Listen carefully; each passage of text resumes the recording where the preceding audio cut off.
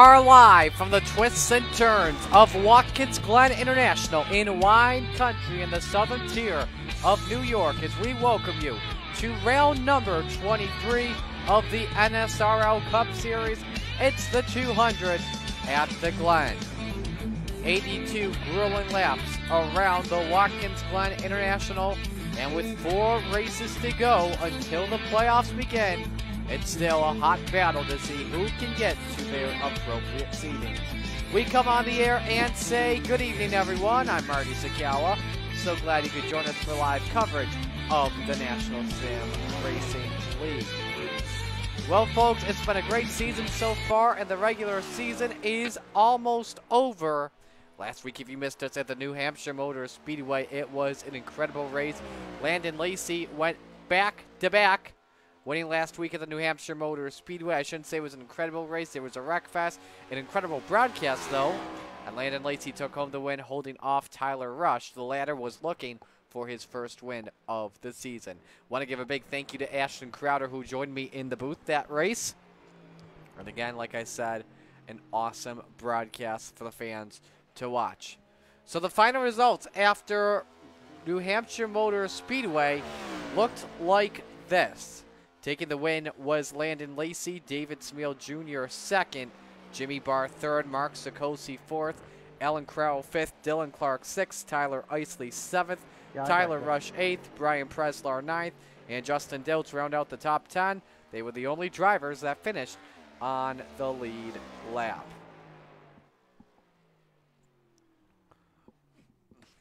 Well, we get set to go racing. You saw the breakdown during pre-race. Here is it. Here it is. 82 lap stages will be laps ends at laps 20 and 40. Around the 2.42 mile road course, six tire sets will be used. Landon Lacey on provisional pole at the moment. Let's give you your as we get set to go racing. We have just about 18 to 20 drivers that are just about ready to take the green flag here at Watkins Glen International. Qualifying is in the books. Here, got a copy. So we should be good while we're at it. Let's tell you how the playoff picture looks after 23 races, four races to go until the playoffs begin. And so it's Josh Susie out in front with five wins. If nobody get up to Susie's level if, no, if nobody, if Tyler Isley does not win, as Mark Cook is not in the lineup.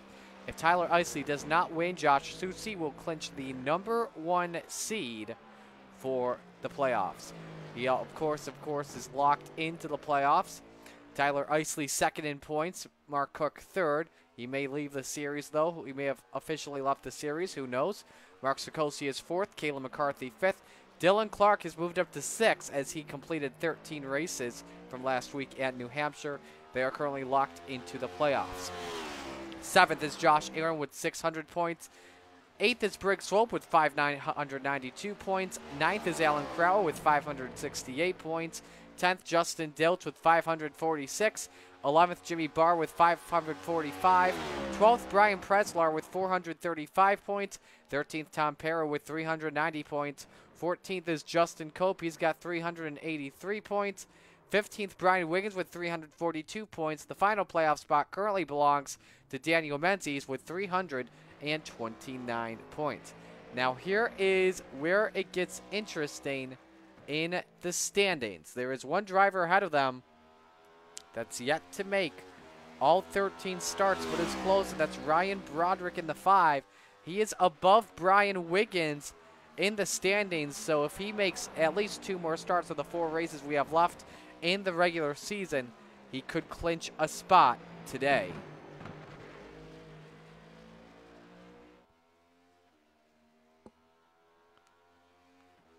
Kayla McCarthy working on her first lap at the moment and clocks in 10th quick at a 120.25. Let's ride on board with her for a lap. I did a little bit of testing here around Watkins Glen before we got into the lobby, and it is a fun. It's fun. It's a lot more challenging than the Cup cars were in the past few years when Cup cars raced at Watkins Glen International. Got to be very careful going up on the S's and, and as well on the exit of the bus stop where you see McCarthy about to enter. You see she downshifts from fifth to third gear. And then this outer loop, it's going to be very tricky for the drivers. Got to keep it on this low groove on the right in order to get a nice drive off to get up to fifth gear and then you downshift twice into third gear entering turn number six.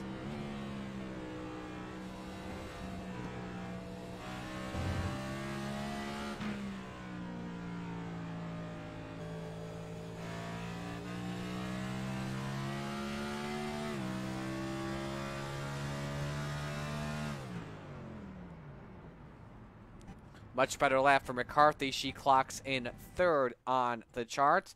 Let's take a look and see how those times look at the moment. It is Landon Lacey on the top with a 110.72.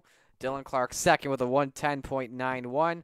Kayla McCarthy currently third. 11 different drivers have qualified. We have a 19 car entry list for tonight's 200 at the Glen. Final minute of qualifying is underway, but that does it on the lineup. So officially, your pole sitter is Landon Lacey in car number 53.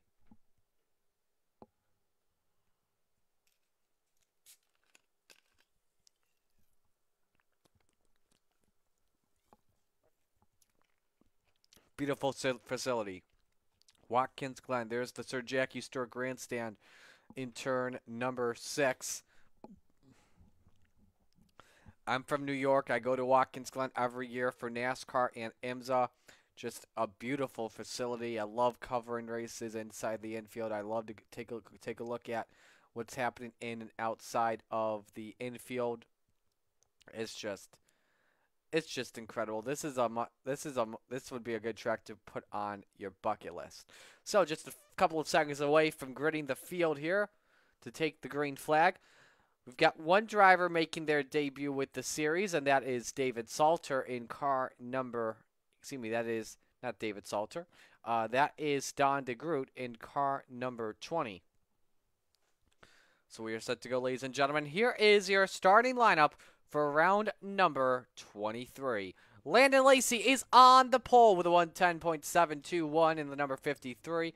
Next to him is Dylan Clark excuse me, in the 34.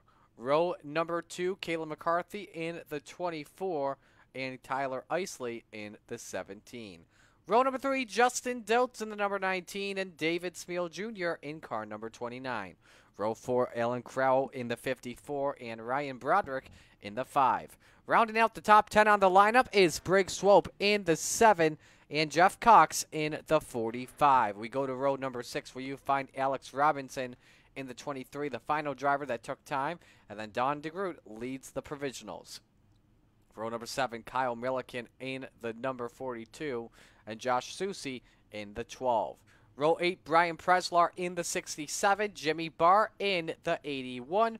Row number 9 gives us Mark Sikosi in the 91 and Stan Mayberry in the 99. And rounding out the field of 19 drivers is David Salter in the 88.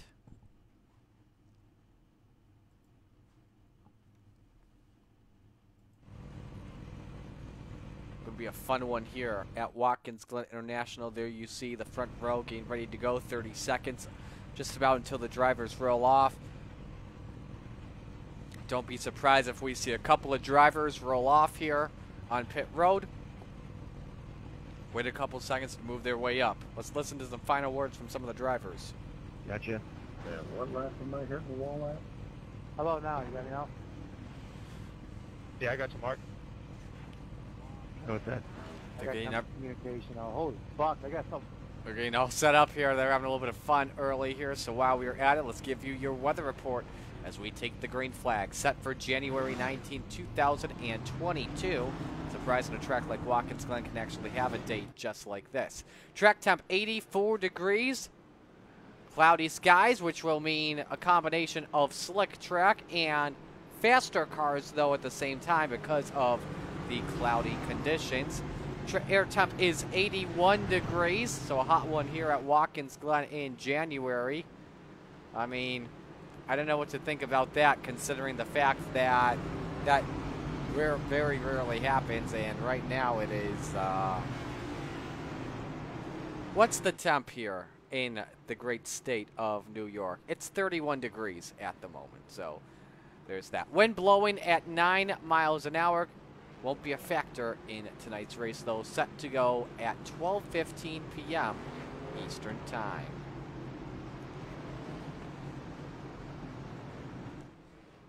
Breakdown of Watkins Glen International 2.42 miles around the short circuit. This series does not use the boot. Seven turns. They start things off here. We can't show you really show you a map on your screen at the moment unless we go to the info.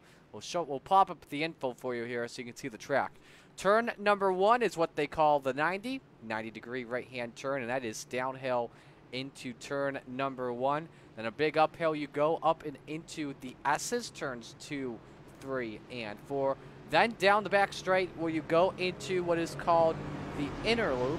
I call it the bus stop specifically, just like Daytona, uh, just like there's super stretch uh, bus stop. And then you go around the outer loop, which is considered turn number five, aka the carousel.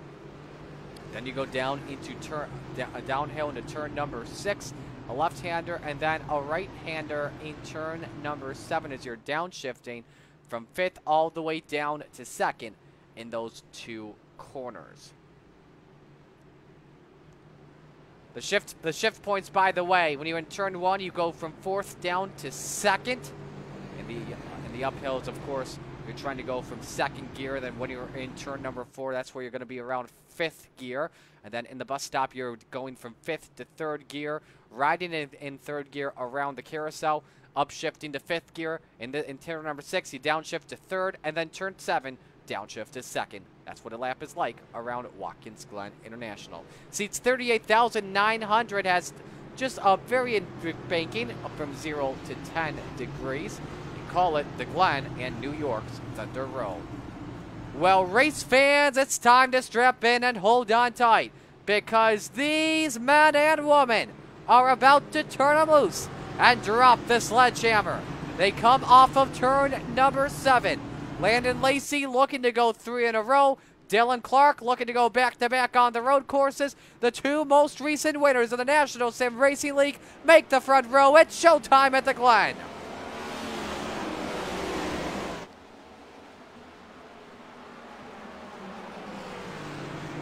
And right away, Dylan Clark gets the early jump, but Lacey's got to run on the inside as they go side by side, looking for the race lead. Got to be very careful on the uphills of the S's. Oh, they merely made contact. Dylan Clark got a little bit squirrely in turn number three. Backs out of it, tucks back in line right behind Landon Lacey. They go down the back straightaway. And Lacey and Clark lets Lacey keep the lead. Got to be very careful about the first curbing in the bus stop because there is a huge bump. So Landon Lacey has opened up a decent lead early on Dylan Clark, followed up by Kayla McCarthy, David Smeal Jr., and Ryan Broderick rounding out the top five. Broderick used a little bit of pavement in the runoff area off of turn five as they make their way into turn six.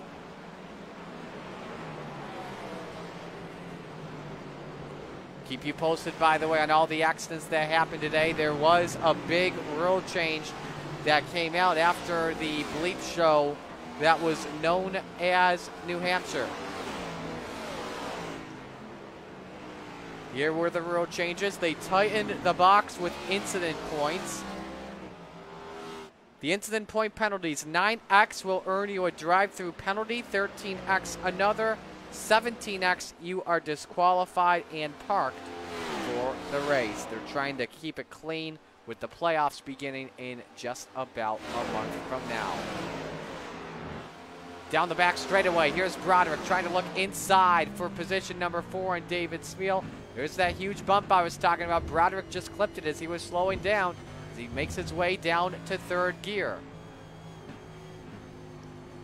Here's the track map for you at home, wondering what it's where all your favorite drivers are on the screen. Broderick again using some runoff will cost him some time. Let's go to Justin Dilt and Tyler Isley as they do get it for P6. Isley almost had a run, but tucks it back in line behind Justin Dilt. Remember, if Tyler Isley does not win this race today, Josh Susie will clinch the number one seed in the playoffs. Of course, it is a long race. First stage ends at lap number 20. Here goes Broderick inside, entering the 90 and turn one on Smeal. They don't make contact though. Smeal gets credited for an off track though. Cuts it back in line. They may not actually call it an off track. It may still be fine considering the amount of space that was left. Landon Lacey, quickest lap right now, a 110.96. Tyler Isley with the run on Justin Dilty takes away sixth position. That puts him another spot up for a stage point. Let's go to the back of the field. You'll find Brian Preslar and Kyle Milliken down the back straight.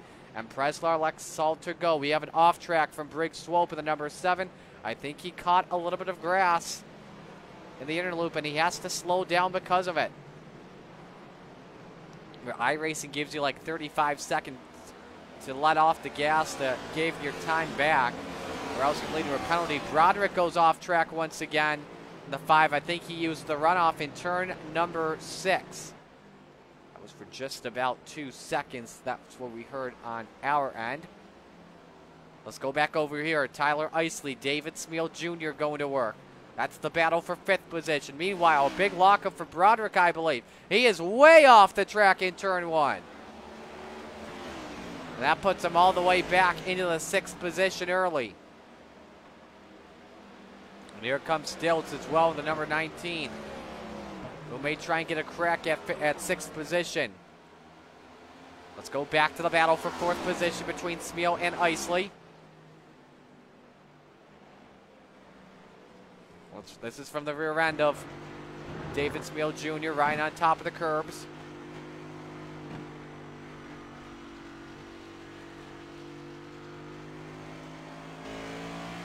Isley back on the gas first. He's got to run up on the outside. Side by side, and Smeal lets Isley go. Tyler Isley is up into the fourth position. Now does Smeal try to answer it back? That's the question now.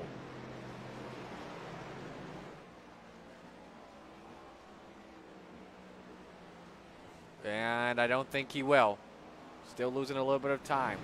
In turn number seven, Jeff Cox closing in on Kyle Milliken. That was a battle for 13th spot, but now he loses some time. Here comes Briggs Swope in car number seven That's the battle for 14th. We got reports Dilts just went off track, and he may have on the infield off of turn number one. I'm not too sure, but Dilts is off the pace in the number 19. Think he's got it back going, though, and he does.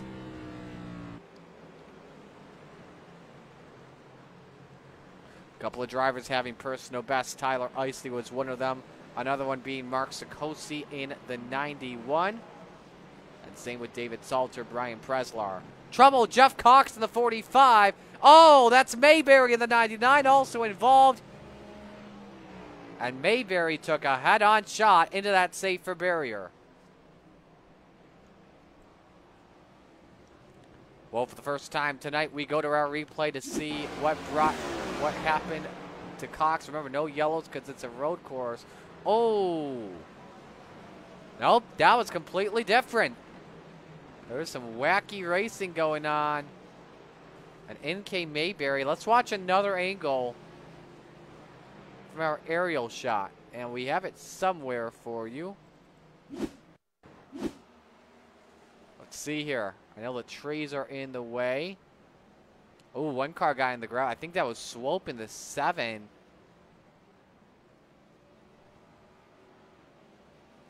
So now what happened with Mayberry is my next question. Let's ride on board with the 99. Oh, man. Oh, he caught that big curb and then just wheel hopped it. Preslar let him go and was being very patient.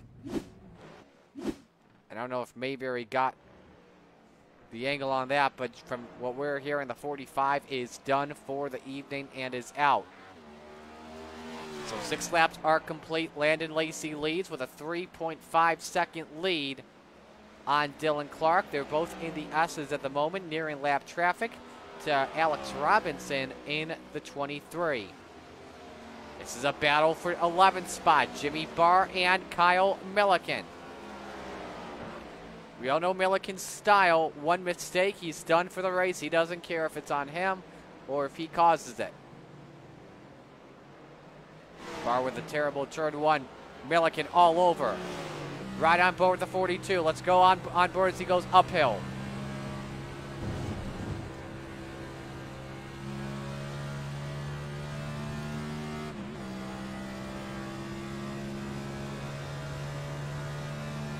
Here in Alex Robinson is off track in the number 23 machine.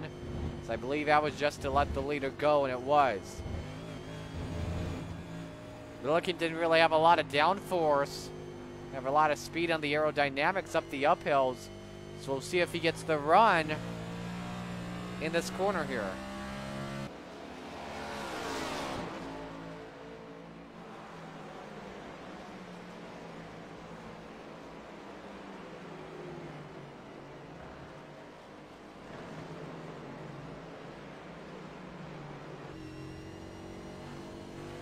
Milliken try to take over. He can't. Meanwhile, in front of them, here comes Susie on the charge after starting from the pits. Inside on Mark Sikosi. That's for ninth on the track. So Sikosi currently has the final playoff point. Oh, Milliken is loose and he's done. Wow, I thought he was gone after that. I thought he was going to hit the wall. But what a save from Milliken. As he loses a lot of time because of that. We won't be able to show you a replay as it doesn't it does not trigger anything. But that was impressive. Oh, Susie all over Dilt, and Susie's got damage. Josh Susie with damage in the number 12. And that's not good on the front end. That's optional damage, I would have to say. And we'll see if Mark Sikosi can take over. I don't know if there was contact with Justin Diltz. But this is the first I know of the front end damage on the number 12. Well, this is going to be from ways back. I think it just happened now. This is on the same lap. He just got by Sikosi.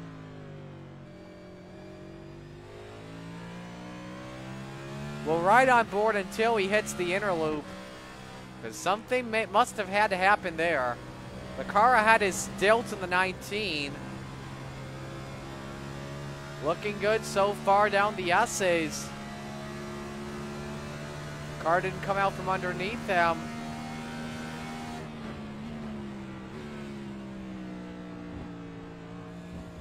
Oh, Dilts. Dilts off the pace. Oh, man. Susie couldn't move it to the left or else that car would have spun into the wall. So Susie had nowhere to go pretty much, and he's going to pass for eighth position on on on Dilts. Sikosi's still lagging back. Now, what's the damage look like on the 19? There it is. That's rear end damage that a driver does not want to see at all. Well, he hasn't seen it literally, but for his virtual crew. Oh, man! Diltz was trying to cut Susie off, and I don't think the 12 is liking that.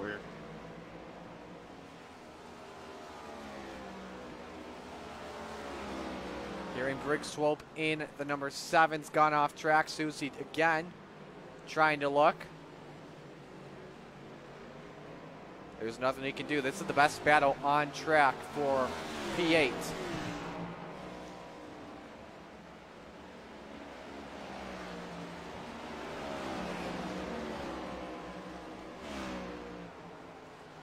Now what happens here in the bus stop this time? Does Susie try to outbrake Diltz? No, he tucks it back in line. Diltz makes a mistake there. Oh, he's sideways! Susie takes advantage and takes away eighth position. We're halfway through in stage number one, folks. Fell out, thank you. That's Broderick you hear on the radio up in fifth position. I don't know. For me too. I think they were working on Alex Robinson for our reports. So now Sikosi on the attack of Diltz.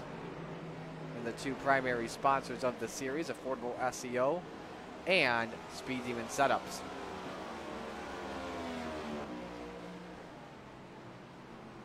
Well, we are halfway through in stage number one. Alex Robinson currently leads on Dylan Clark, Kayla McCarthy, Tyler Isley, and Ryan Broderick. We'll take you side by side for the first time tonight here at Watkins Glen.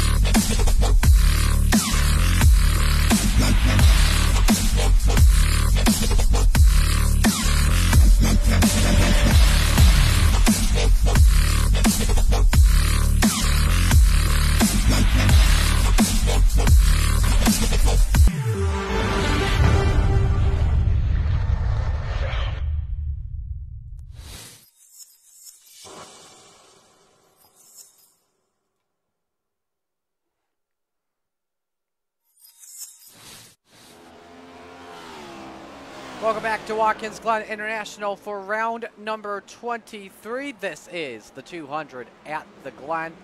Another road course race this season for the National Sim Racing League. Let's update you here on Jimmy Barr in the number 81, who has not had best of lucks in this race today. He's currently 14th and bringing it into pit road, and we can explain why on the replay. Let's show you what happened.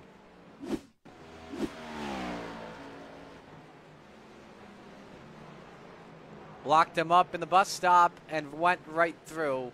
Did not want to take the risk to spin the car out, so he kept it straight. But went to a stop to give his, to give his time back and kept it going. I don't think he really lost any positions at all, but has not been the best of races for him today. So Barr repairing the tires currently in the number 81 machine. But meanwhile, Landon Lacey continues to lead by seven seconds on Dylan Clark, Kayla McCarthy third, Tyler Isley fourth, and Ryan Broderick the top five. Here's the best battle on track. It's Kyle Milliken and Justin Diltz. This is for ninth position. Mark Sikosi currently the first one out in 11th when it comes to stage points as we have seven laps to go. In stage number one, Lacey's coming by to make it six. And my goodness, he's already in turn number seven. And the guys that are just in the top 10 are approaching the S's. Pretty interesting race we've got so far. Road courses, you either love them or you hate them. If you hate them, you lose a lot of time. If you love them, you're going to be the best. If you're in the middle, hey, you may lose a lot still. Milliken trying the inside on Diltz for ninth position. Catches the big bump. Diltz goes off the track.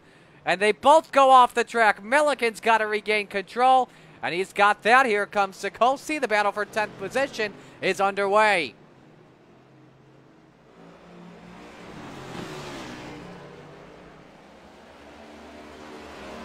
Now, how does Sikosi try to take advantage of this into turn number six?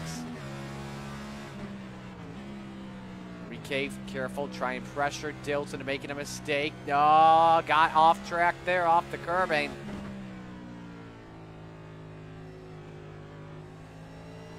And a nice exit for Sikosi.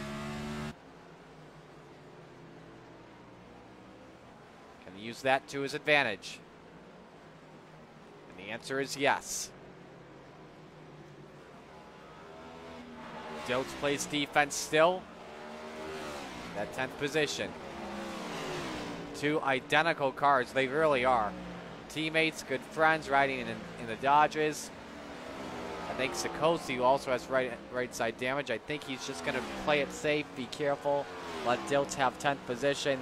Sikosi, I tell you, has been so close to two wins this season. His loan came at Myrtle Beach. He really wanted New Hampshire badly, wanted Iowa badly. Lacey on the radio. Just missed that. Apologies there.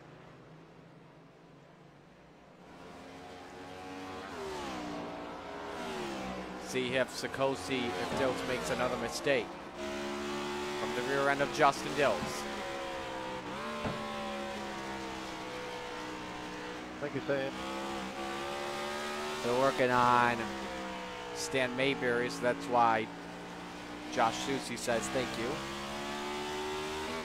And leaders should be approaching them soon. And Lacey approaching turn number seven. It could be a battle as well for a free position spot. Who knows what happens? There'll only be two lucky dogs in this race. Is again, Diltz goes wide. Sikosi's got to run. If I'm Sikosi, I'm trying to cue Diltz up on the radio and say, come on, man, let me have it. I'm faster than you. I can get to Milliken and try and take away ninth position. There's another battle on your screen. Kyle Milliken is closed in on Alan Crowell in the battle for seventh position. Excuse me, that's for eighth. Milliken's got the run in six. Excuse me, that's in turn five.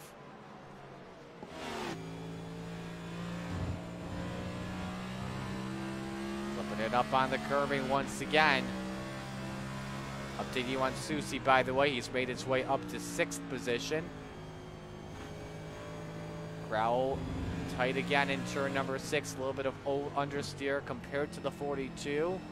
Milliken clipped the curb, and Here we go. And Crowell's, I think, let him take the position away.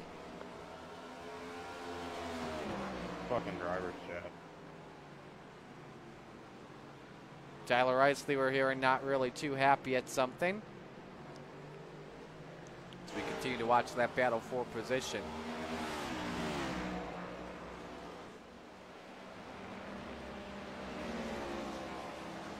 Sikosi, meanwhile, trying to close in still on Dilt and look for 10th.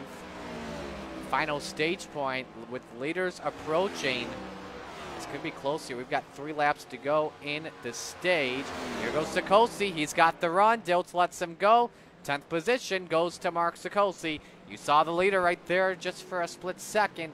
That being Landon Lacey in the 53.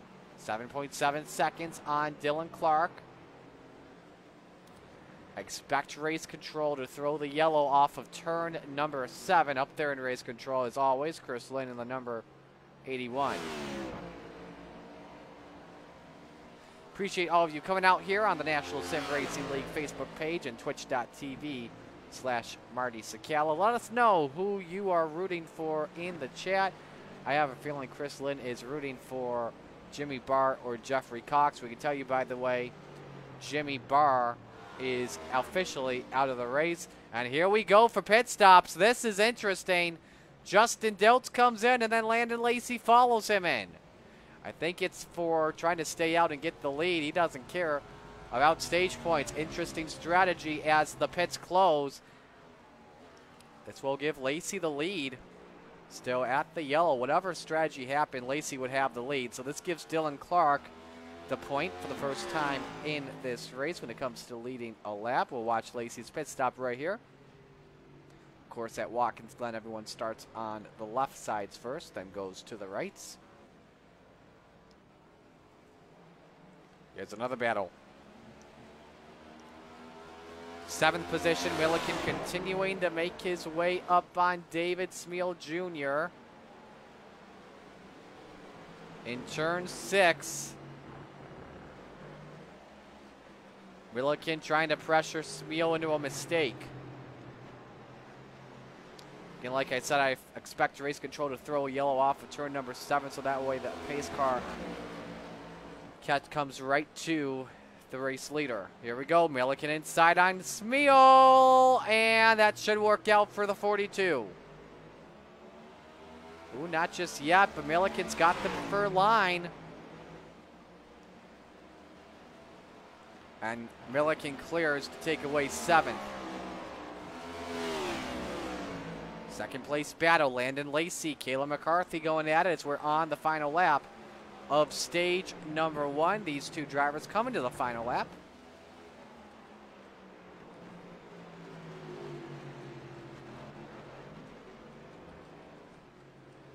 That's a good battle on your screen.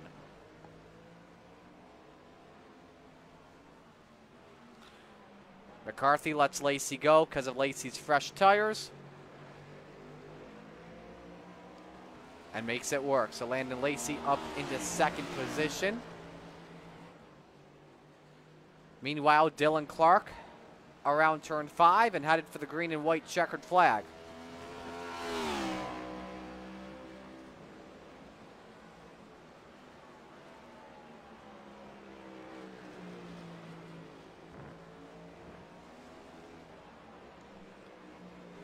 Here comes Clark off for turn number seven, and this should bring out the yellow immediately. And they'll let him go to the line. There it is. Trying to get out of the way, but Alex just sitting there. So Dylan Clark wins the first stage. And we will pause here and step aside. And when we come back, we will have pit stops for the first time. Just make sure there's the pace car. There it is. So Dylan Clark your stage winner. And when we come back, we will see green flag pit stop. Stay with us.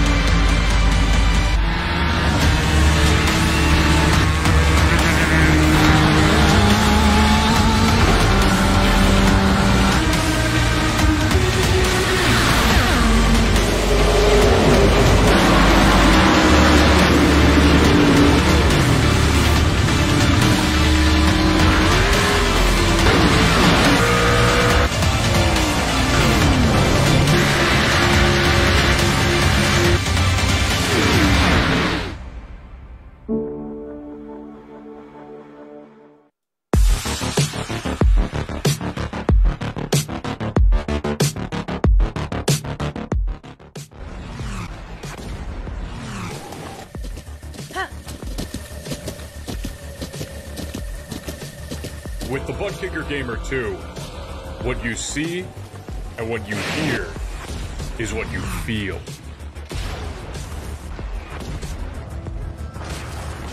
ButtKicker. The future is feeling.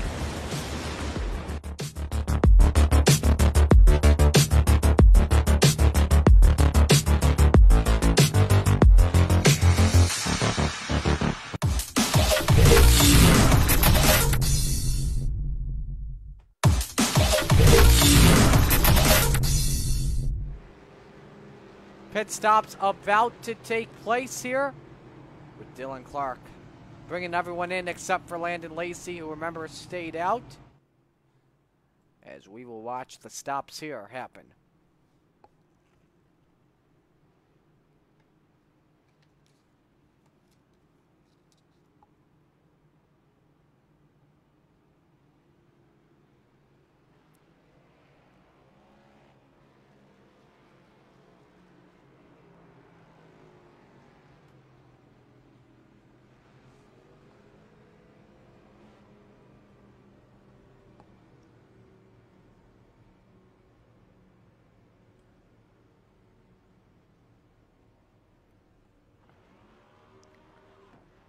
As Clark gets away, first in the race off of pit road.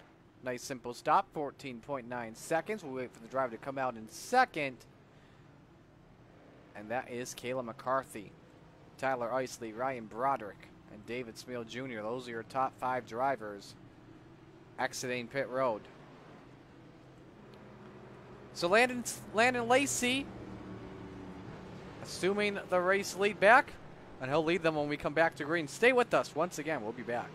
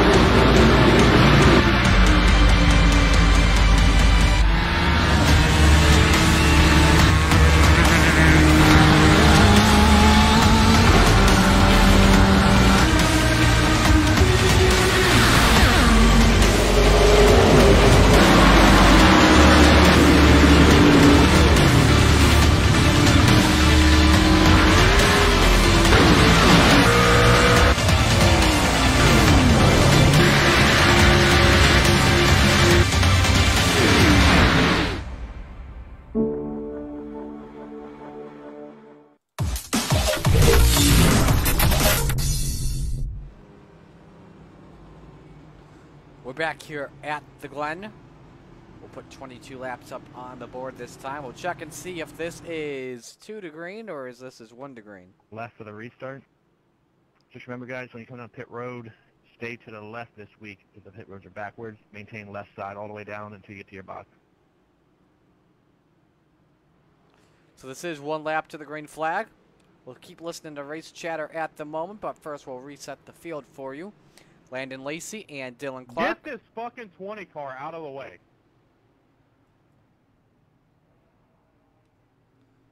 Tyler Isley not happy at somebody. That is Don DeGroot. Chris, dude, get him the fuck out of the way or I'm putting him. I, I don't care. Oh boy. Yeah, Don DeGroot. Who's the 20 car? Dumbass. Fuck the fucking dumb lap. Fuck the dumb fucking group lap did not move. car And sit in the middle of the track. Like, tell them to fucking park to the side and get out of the way. It was the new guy. He moved. Yeah, he's getting there. He's back there now. All right, so Took him long enough. now that's all set. Tyler Isley and David Smeal Jr. Excuse me, Caleb McCarthy. Yes, Caleb McCarthy's in row two. Row number three. We'll have to look here through this perspective. Is Ryan Broderick and David Smeal Jr. Row four. Josh Susie and Alan Crow. Rounding out the top ten. Mark Sikosi, Kyle Milliken. Listen to radio chat as we're getting ready to go back to green.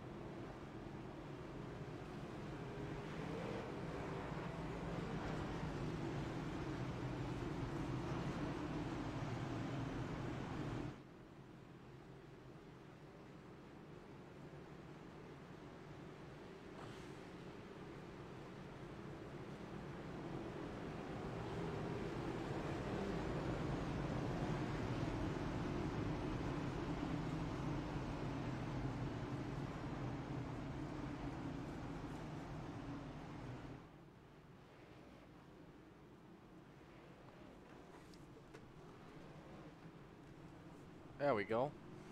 They cut through the fucking. They can't cut there because they got a fucking concrete wall there, right? No, it's open. They did it when they just started to stay away from each other. They started doing that in real life. Not in real life, I don't think so, but uh, they did it when they just start tonight to keep away from each other. They all stayed in line. All right, so we're ready to go back to green to begin stage number two.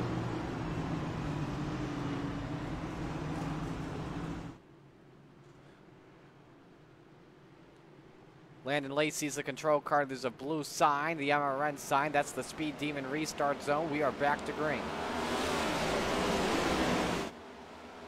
Let's see if Dylan Clark can get something to work in turn number one with three laps of fresher tires. He cannot. Lacey cuts down. He holds serve. McCarthy third, Isley fourth, Broderick is fifth.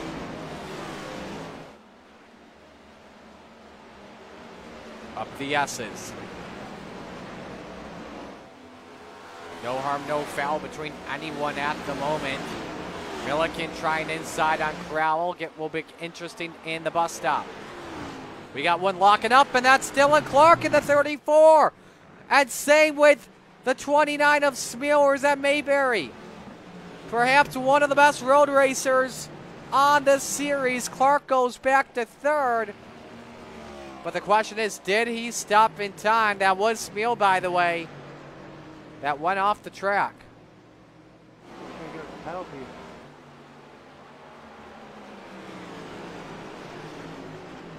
So after all of that chaos, Dylan Clark goes back into the third position. McCarthy's up to second. And this is the best battle on track for P2.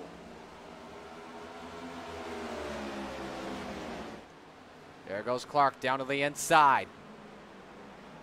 P2 is a his, hops the curb for just a moment. McCarthy gives him space. And Dylan Clark is up to second.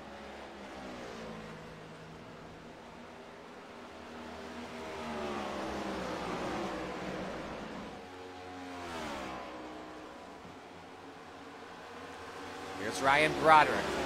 Look inside on Tyler Isley. Meanwhile, Susie's back in the equation. He tries to go around the outside, but tucks it back in line. Kyle Milliken's also in that battle, too. Milliken hops the third curve in the bus stop.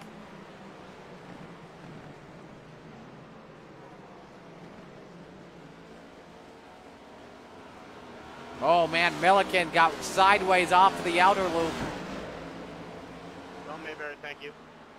and almost lost control of that race car.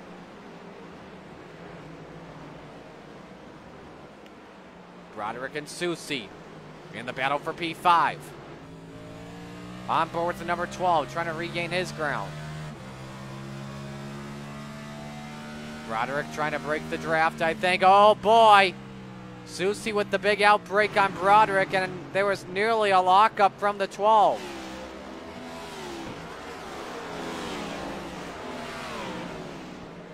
Susie trying to diamond this. Does he have a run in the second S's? No, he doesn't.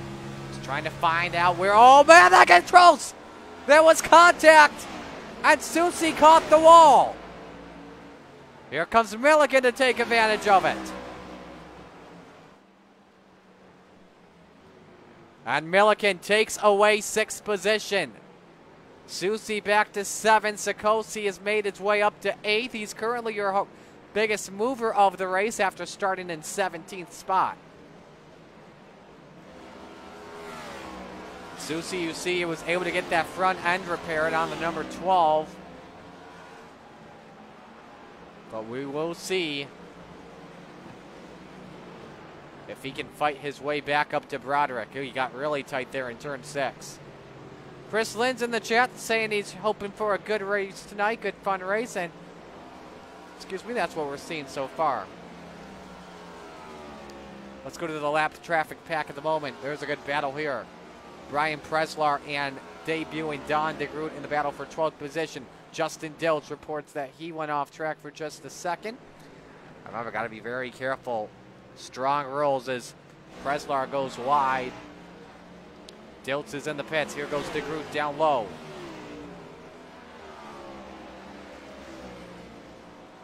And DeGroot is up to 12th position. Preslar did not lose a spot, and I believe this is a drive-through penalty for Justin Diltz. Remember the new rules in effect this weekend. 9x is a drive-through, 13x is an off-track, 17x, you're DQ'd. Right now, on my calculations, Justin Diltz has six off-track, so I would assume this is his first penalty of the evening. Ryan Broderick, Tyler Isley, ding, ding, ding. Here we go for P4.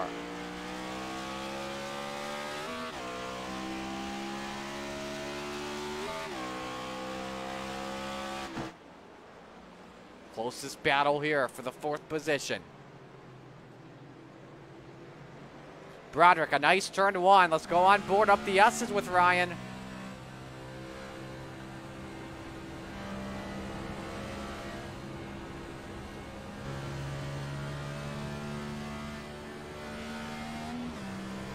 And we've got a confirmation that Justin Diltz actually has 13 incident points. And he has got the most incident points of all drivers so far in this race. Yikes. That's no braino.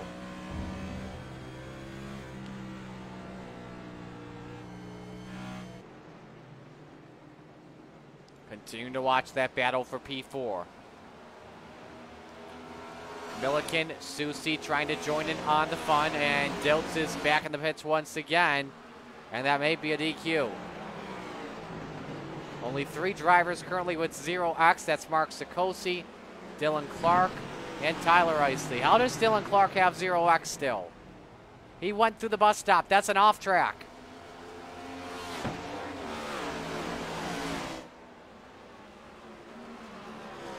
Oh, look at this. Susie tried inside on Milliken. There was a lockup up ahead. I would assume that came from Broderick as he lost a little bit of time. Different lines entering the S's. And right now it's the advantage on Milliken over Susie. Broderick got them both though. Here's the run for Susie down the backstraight. He's got the draft.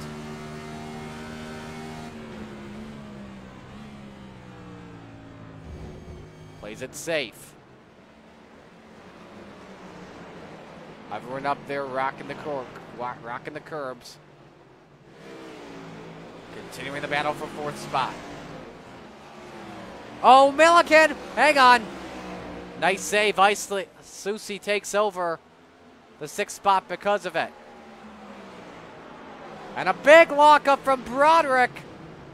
And the five keeps it going. Meanwhile, Milliken still trying to attack on Susie.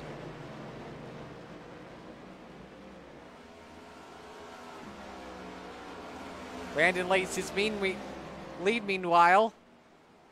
Still not as big as it was in stage one. Two and a half seconds on Dylan Clark, then 10 seconds behind him is Caleb McCarthy in third. Here we go once again. Josh Susie, the run on Ryan Broderick. Up the S as they go. Fifth spots. I'm like, oh, they make contact. Broderick turns oh, Susie around. And Susie is not happy at it at all. Car stuck in the fucking S's.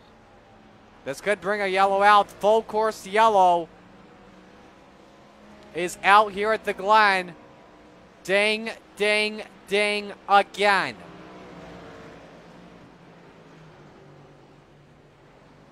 Doesn't look like too much damage on the number 12, except the rear end is they get together. crunched up.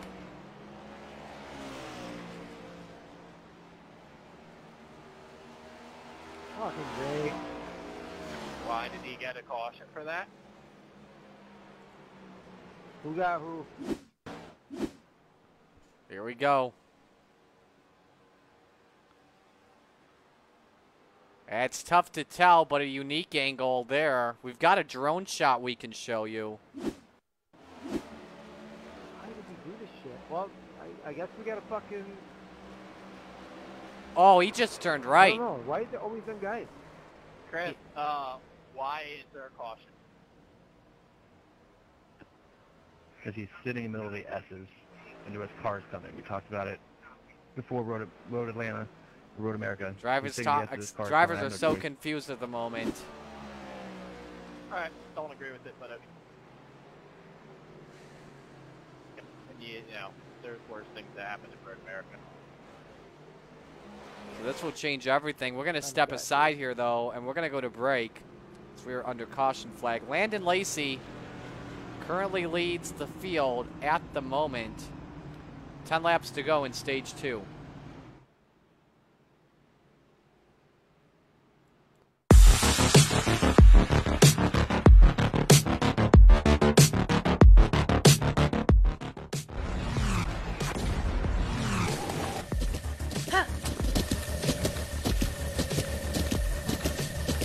With the ButtKicker Gamer 2, what you see and what you hear is what you feel.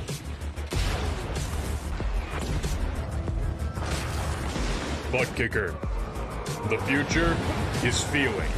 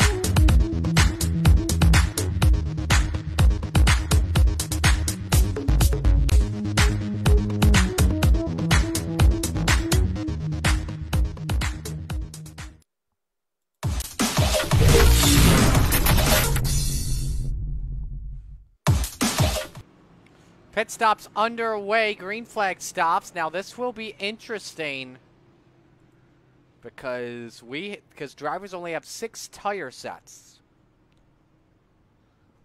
As we look at it with Landon Lacey, this is the second tire set he is using.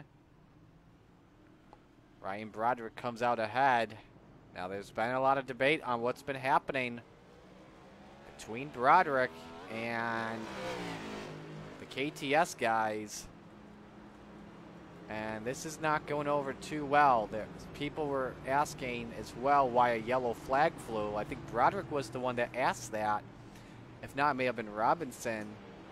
That's because of Susie being in a dangerous part of the track and could not get out, cannot cannot move. This was talked in the drivers' meeting as well, of drivers of that full course yellows could come out because of drivers being on the racing surface uh, when they're spun and or stuck. So that is the reason why we are under a full course yellow. You probably haven't seen it often uh, on road course. You rarely see it with the series on road courses because everyone can usually get out of the way. There's a lot of open daylight. So that's what's happening at the moment. Dylan Clark is the leader. We'll step aside and listen to race control.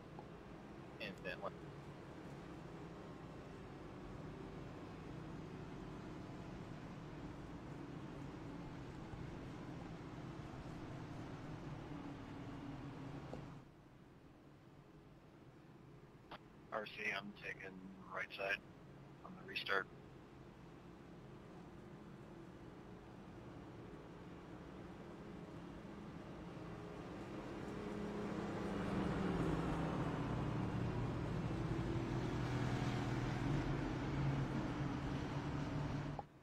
Uh, what's that, Dylan? Right side on the restart. 10-4, thank you.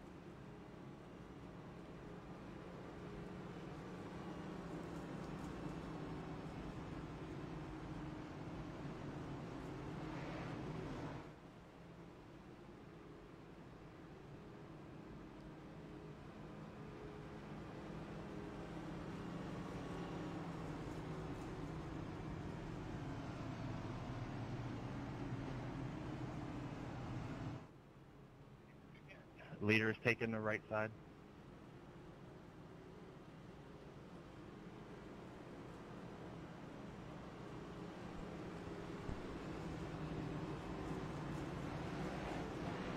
Alrighty, so we've got one lap until we go back to the green flag. And we'll reset the field once again. Stage number two, by the way, ends at lap number 40.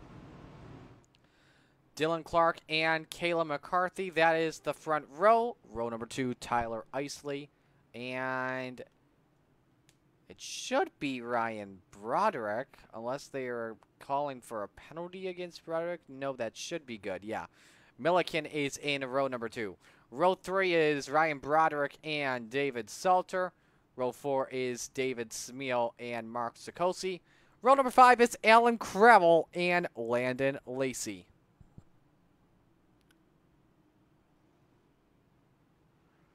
This infield, doesn't it just look beautiful here?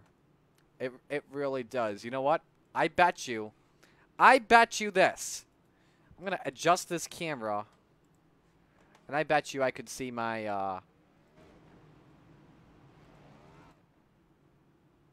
if I can figure this out, put it back on static. I bet you I could see my campsite from here. That is turn number six. Yep, that's right there. Right there in the center. Put it down a little bit more here. Yep, this is it. My camper was over here. That was the shower areas. This shade right here, this is where I camped out. This was pretty packed as well. So I was over here where the showers were. And this is, uh, this again, Watkins Glen International. Must go to. You must camp. It's absolutely worth it. Will not disappoint at all when you go. All right, that shouldn't save, correct? Yeah, that's good. You know, sometimes I like to pull a little John Madden sometimes when we're bored here. And we get ready to go back to the green flag. So I could see my camper from the blimp. Technically, it's not my camper. I camp with a couple buddies during NASCAR weekend, and that was where we uh, camped out. So, okay, enough talking. We got a race we got to tend to at the moment.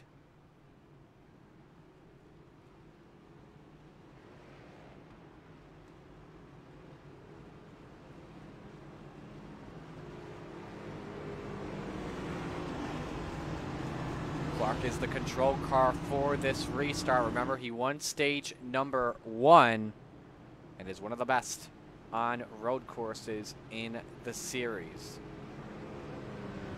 Don't know why we have a Porsche pace car for NASCARs on a road course. That doesn't make sense either. Why can't it just be a Chevy or a Toyota pace car? Clark is the control car. The MRN sign is the Speed Demon restart zone. There it is, and we're back to racing. Man, what a restart. Oh, trouble behind them. Someone did not get the memo. And we've got junk. Sakosi, Broderick, Mayberry, and Swope. That is from the second row, third row, ladies and gents.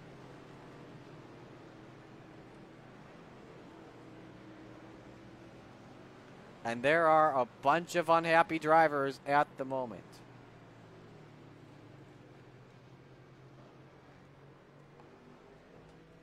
Believe we've been muted, by the way. Our chat has been disabled. I don't know. we are having some technical difficulties with the radios at the moment to try and listen. But this will be interesting to see what the hell just happened.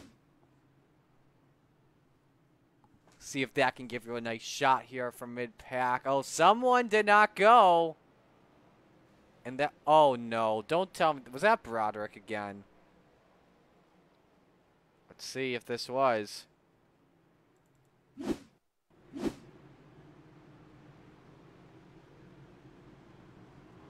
Clark went. Wow. Broderick did not go and got turned from behind. And I think that was the 29 of Smeal who said, You're not going, I'm making you go. And that making you go was a little bit too much. Well, this will be the uh, determiner of what happened. You can't see Clark going at all.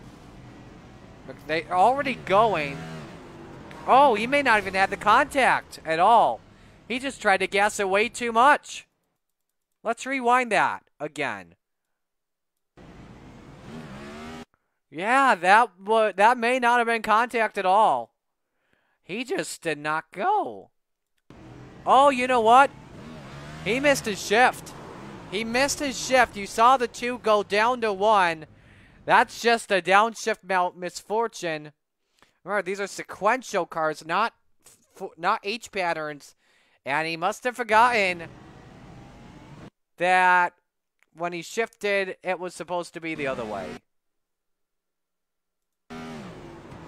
Yeah, that sucks when you miss a shift like that.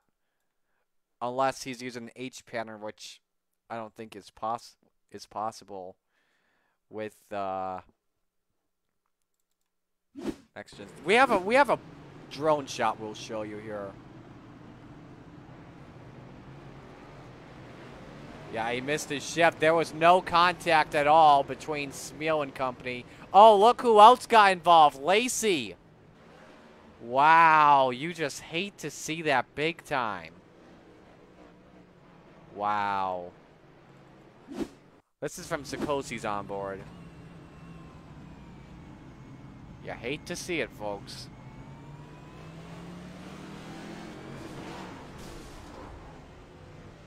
Just came right in front of him. I thought for a moment, when you think about it the first place, you think, oh boy, what happened here? Let's watch the 99 of Stan Mayberry from his perspective on this restart. They're already going. He sees what's happening. He didn't even go at all. He's just being a nice boy. And then we also have Briggs Swope in the number seven.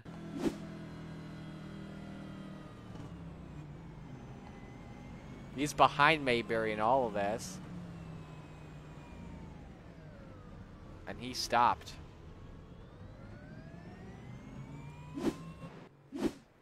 Wow.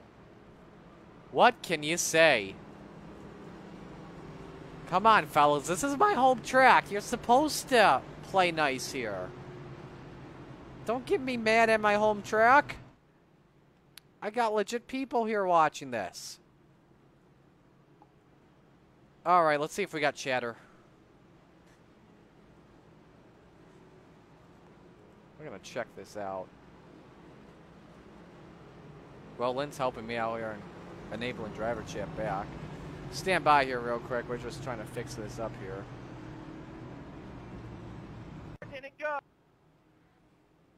There we go. I think we've got it fixed up now.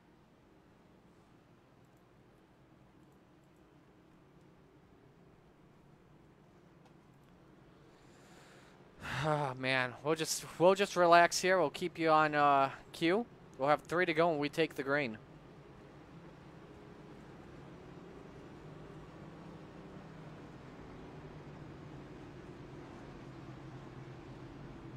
You're not even gonna talk about that restart or no? Or what? This this is something that needs to be. I, I'm beyond pissed because of how stupid the rules are about this fucking restart. You can't have cars going half pace speed going to the green. He's going 40 fucking miles. Damn. Wow. Let's try and talk with the driver here and 15 wrecks. Do you want more excitement? That will get more excitement. now these guys are not arguing with each other. Can I comment through on the broadcast?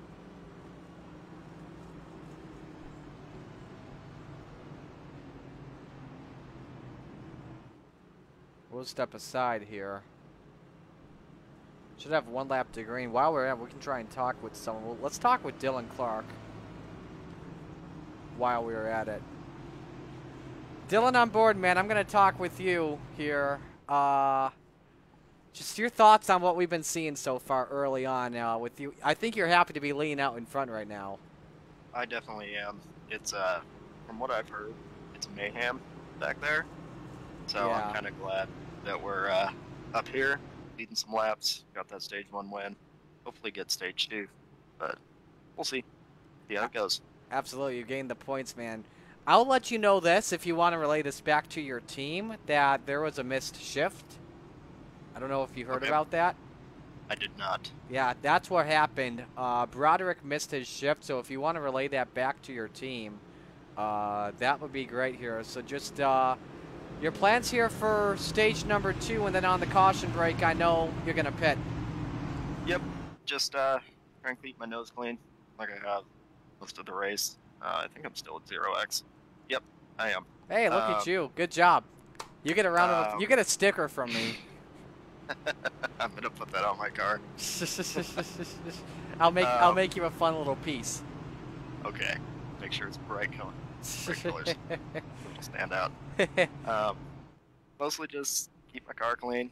Um, try and keep it consistent. Just motor around. All right, sounds good. We'll let you go. Good luck on this restart. Thank you, sir. That is Dylan Clark as we get ready to go back to the green flag.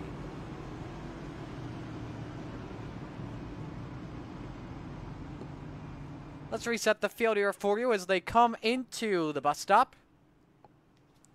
It is Dylan Clark and Tyler Isley. The front row, Kayla McCarthy, Kyle Milliken in row number two.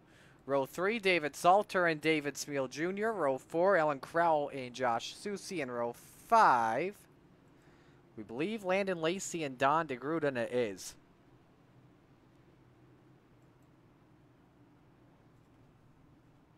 Field goes around the carousel. Now that would be a nice seat to watch from. Stand on top of your RV and watch the drivers go around that 10 degree of banking in the outer loop. That would be pretty cool, and watching them fly right into the boot if you're a sports car fan at home. So,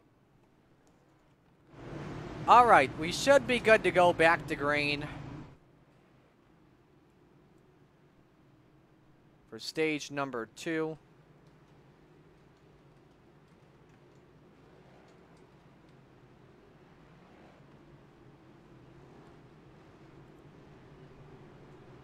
We've got 12 drivers on the lead lap. Swope still on track. Same with Mayberry and Robinson. Broderick, we know, is out of the race. And Justin Diltz is also out, too. After all of what just happened.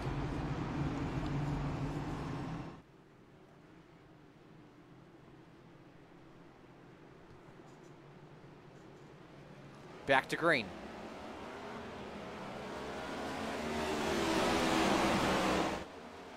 Man, Dylan Clark checks out big time as Isley gets by for second on McCarthy. That's his best restart today. One almost went off track, and that's Smeal in the 29.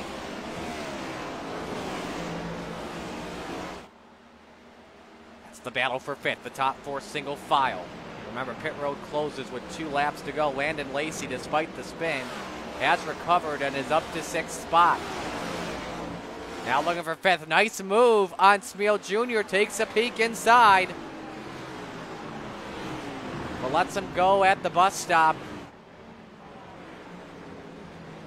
Salter and Susi going at it for seventh on track. Nice recovery from Susi after getting into it with Ryan Broderick. Here's the run for Lacey inside on Smeal. An impressive battle happening for fifth position. Lacey doesn't have the preferred line though. Smeal's playing defense. Great job by Smeal to play defense. But here's the crossover for Lacey. He tries to go around the outside. He can't do it yet, but he crosses Smeal over for position. And Lacey takes up the P5, two to go in the stage. And the yellow, the yellow comes out when they end lap number 40. Here comes Susi in this battle as well. What? Not have a spot? Saying something as he can't hear a spotter or something. That's very strange. The driver 12, and he caught the wall again. That's like the third time he's done that in this race, and that's going to cost him seventh spot to Salter. Wow, can you believe what's happening here? Oh, Salter! Can he save it? Yes, he can. And Susie takes the spot back. Second spot is on. McCarthy and Isley. McCarthy took away P2 after the restart.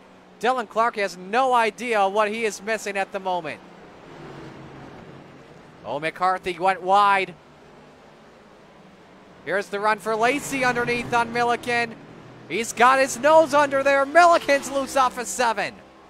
I can't stand racing around these guys. Final lap underway in stage number two. Clark making his way up the S's, a tremendous leader here as we come to the conclusion of stage two. Currently in 10th position, Mark Sakosi. He's battling Don DeGroot for ninth. Who would have thought DeGroot would be in P9 by now? I'm going to tell you this, by the way. Susie is in the pits for a drive-through penalty we're hearing. If I'm assuming this correctly here, Lynn, this would be his first. So Susie would not get any stage points in that situation. And trouble behind them. Briggs Swope. That is in the bus stop as they approach it. That is a very weird angle. And he is stuck. Won't bring the yellow out. Instead, the yellow will come out here for the green and white checkered flag. Dylan Clark won stage one, and he wins stage two. As we come to the yellow flag, and the pace truck, pace car will come up to Dylan Clark. That's the end of stage two. And you hear it right there. So before we step aside here real quick, let's we'll actually keep it with you here and watch what happened with Briggs Swope in one of the weirdest situations I've seen. He just get the grass with a tire and just lose it? He turned it to the right. Oh, wow. It's like he locked, it's like he hit the brakes while turning right to set up the apex.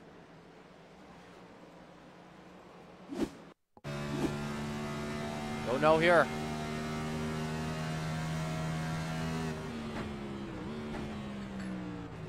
Oh, that's why. Yeah, you don't want to be doing that at the Glen.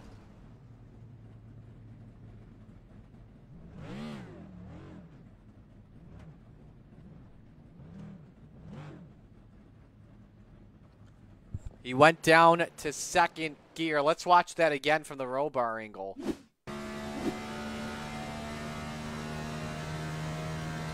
He never even shifted it up to fifth gear. He went down two gears, and that is why you do not want to go to second gear entering the bus stop with the next gens of the Glen. That's a tough break for Briggs Swope, who was one of the cleanest drivers here in terms of Zero X. And it's still Dylan Clark with the Zero X as far as what I know. Isley, I don't think so. I think he is still good. Mark, of course, we do know he does have some X after what the heck happened.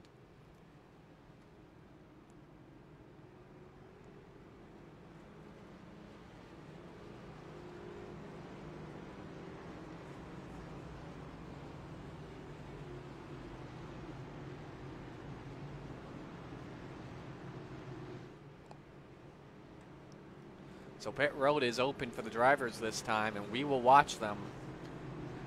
I would assume Landon Lacey would assume the lead here. Is he going to come in with his teammates? And he will. Top three, all KTS, for those wondering, of Clark, McCarthy, and Lacey.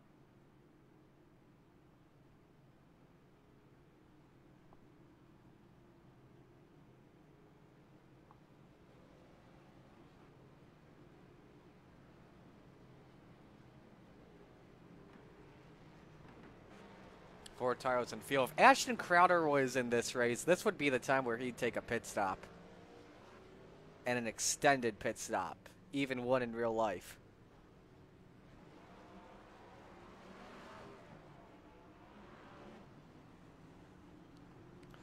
Salter wins the race off pit row. Now, heated fuel only on his stop.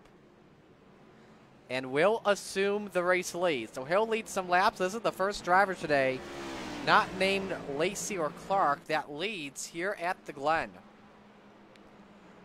McCarthy came out third, Lacey fourth, and Isley fifth. So that is how your top five looks when we come back to the green flag here at Watkins Glen for to begin stage number three. 41 laps are in the books. We are halfway through.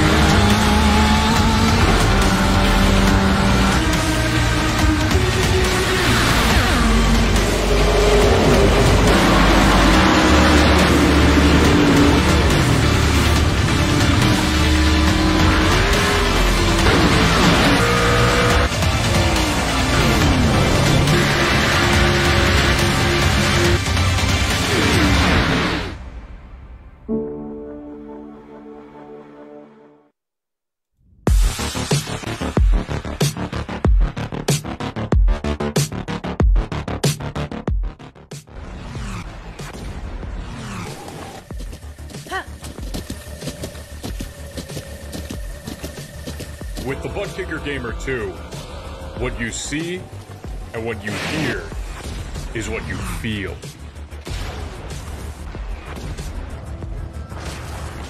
ButtKicker. The future is feeling.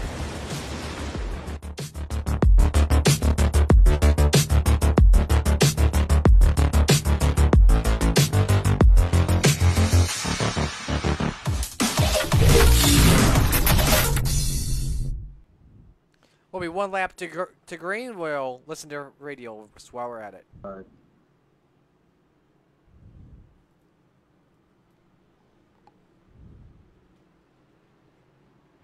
He didn't declare, but looks like he took the left. Right side. Your other left. You all knew what I meant. Why can't we do a Delaware double? But yes, my other left. We're just messing around. I have my thumb going the same direction. Don't test me. Bet you won't black flag me. Please don't.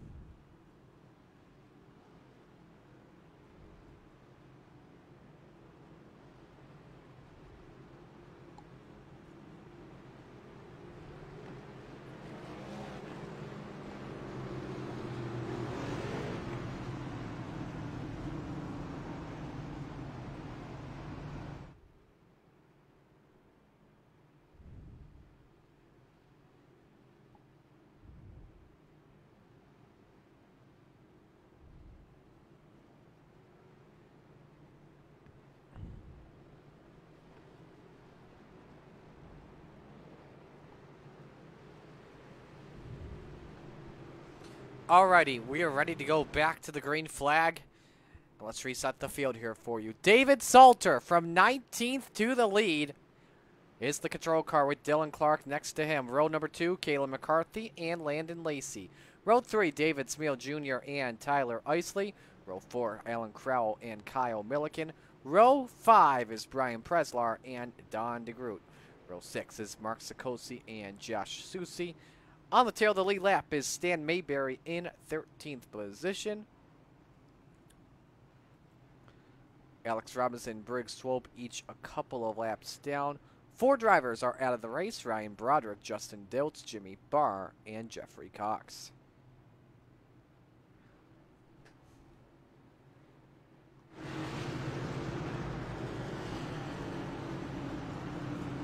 Hoping to have a 39 lap sprint to the finish here at the Glen. I shouldn't say sprint because it's a long 39 laps around New York. But David Salter is the control car as we are ready to go back to the green flag here at the Glen.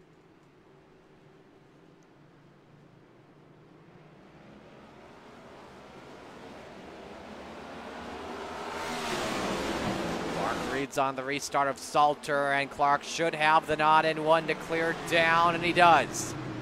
Lacey tries to go around the outside with the right side damaged up. And he does. Lacey takes away P2. And this is going to be a Salter scramble around the field, or a salty scramble, to try and get around David. McCarthy loose off in, in the final part of the S's. Here comes Smeal around the outside. Does he have it to stick here? Yes, he does. Nice pass on McCarthy as Smeal takes away P4. Now, how does he get around Salter in the 88? Meanwhile, for the lead, Landon Lacey wants it back on Dylan Clark.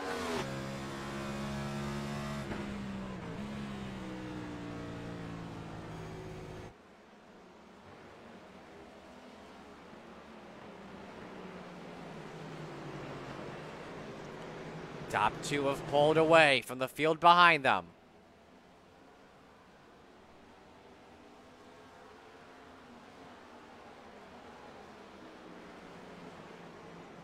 Half a second between the top two. I think this may be what Dylan Clark wants to have Lacey in his rear view mirror.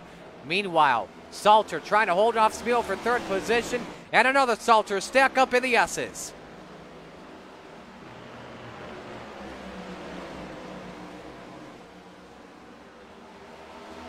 Who makes the first move into the bus stop?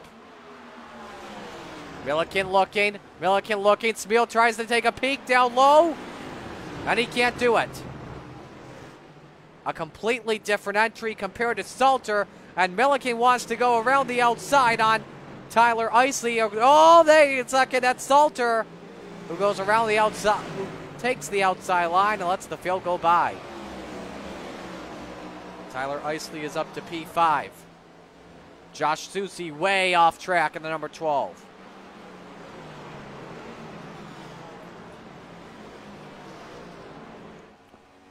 Meanwhile, for the race lead, Clark and Lacey. Gap is opened up to eighth tenths of a second for the number 34. Here we go for third position. That's McCarthy trying to look on Smeal. Into one. Sets it up beautifully. Nice pass from McCarthy. Smeal gets the bumper from Isley.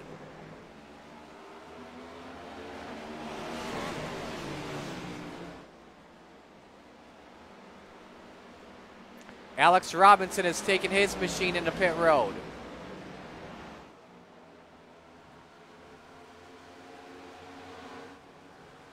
Milliken looks. Same with Smeal. Trying to take away third, and the bus stop sends it in big time and somehow keeps his car between the island. What a pass from Smeal, but McCarthy's on the tail. That was crazy. Somehow, Smeal still has third position. Meanwhile, for those wondering, yeah, that's literally the gap between the top two and third on back. Milliken inside takes away fifth from Isley. Salter still trying to fight in this mess up. Josh Susi makes the pass for seventh position. Here's McCarthy once again. Couple car lengths back, can't make the move yet all the way down to second gear. Big lockup from Smeal. He's off the track. And into those marbles where you do not want to be, and that is costing Smeal many positions. He's lost two and now three. And now Josh Oh, man, what a block. What a block. That was a risky block. Susie's not had a happy day so far, and it's not afraid to dump somebody at this moment. He is like a madman like Alexander Rossi. I would not be surprised if in real life he'd have his foot out, if he had his hand out the window, telling Smeal that he's number one.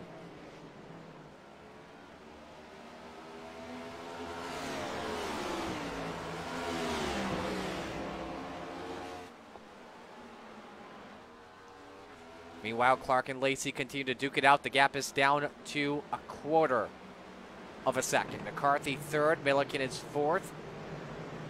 Isley fifth, Smeal sixth, and Susie seventh. Susie trying that inside.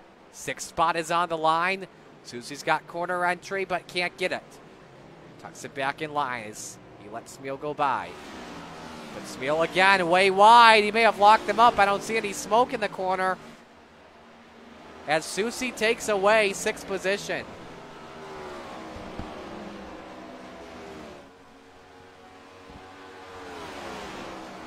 Let's go up to the front of the field where we got the battle for the lead. Dylan Clark and Landon Lacey out of the outer loop. 47 laps in the books. But can you believe it? The top two, it's like they're on split screen trying to play NASCAR 07 on easy difficulty or on the easiest difficulty. This is on board with the 53 of Landon Lacey.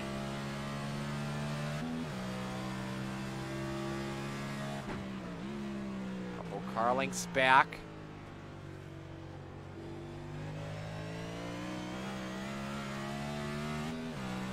Looks like just about equal driving, equal exits by the top two.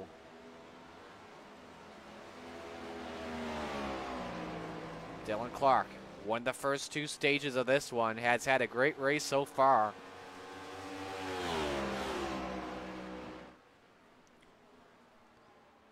Brian Preslar reporting that he is in the pits. Imagine, by the way, if the top two are not in the battle for the win in the final laps. That would be. That's like a Vegas shocker. Let's go to third position here. Kayla McCarthy on the podium at the moment. And Kyle Milliken is trying to change that. But he's been a top seven, top eight contender, but normally very quiet when it comes to trying to race up front.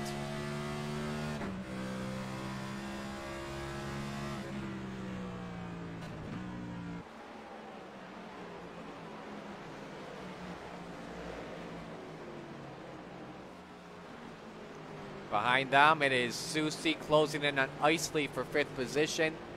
Former teammates. So Isley went to the Bent Park SimLab team.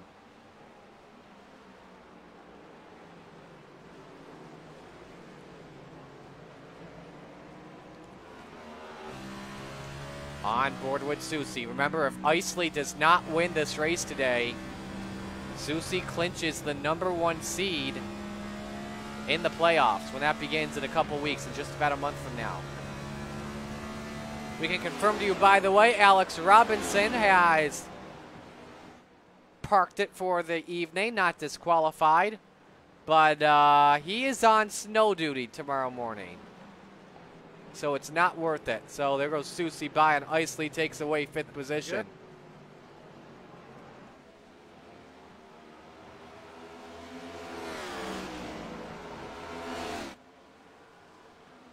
Going back to third spot, McCarthy and Milliken still duking at it.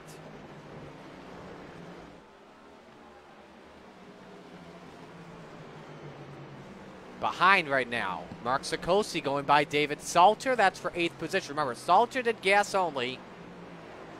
And instead of four tires like everyone else, even gained some track position and also a yellow.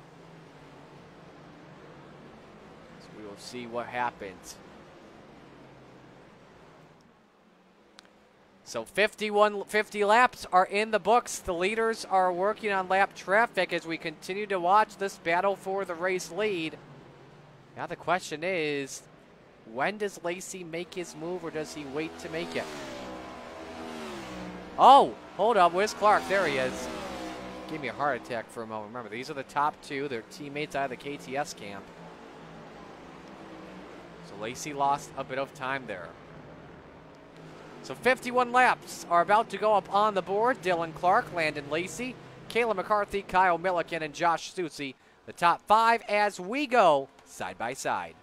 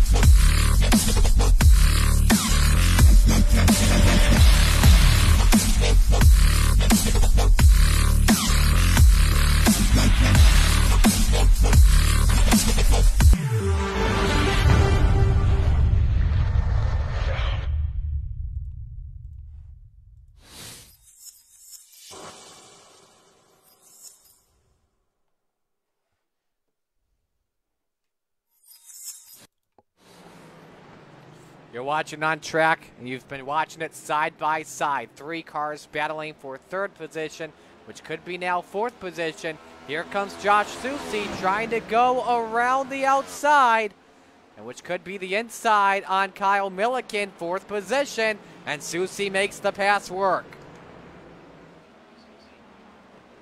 So Josh Susie trying to rebound. He's done a great job rebounding after what went down that brought out the first full course yellow from a crash.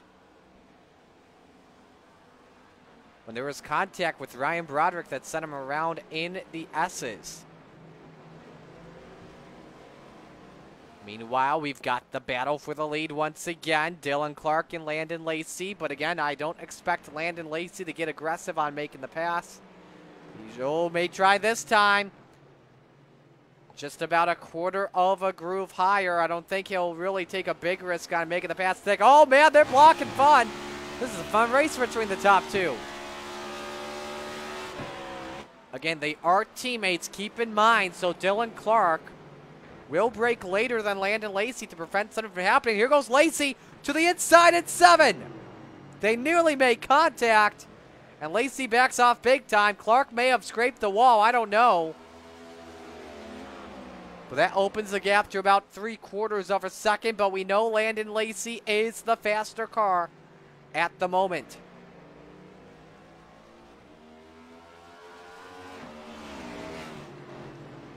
Let's go back behind them as Milliken trying to continue on. Let's ride on board for a lap with Milliken. Got reports that Stan Mayberry went off track, but he's good. Most off tracks we have seen today amongst the field. Eight from Briggs Swope. At least eight. I don't know if Lynn can confirm that right now. He's got at least eight X, I know that.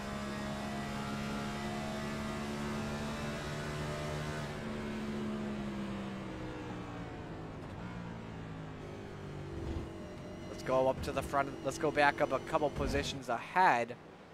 And watch Susie and McCarthy, the teammates. Susie goes wide, opens the door for Milliken.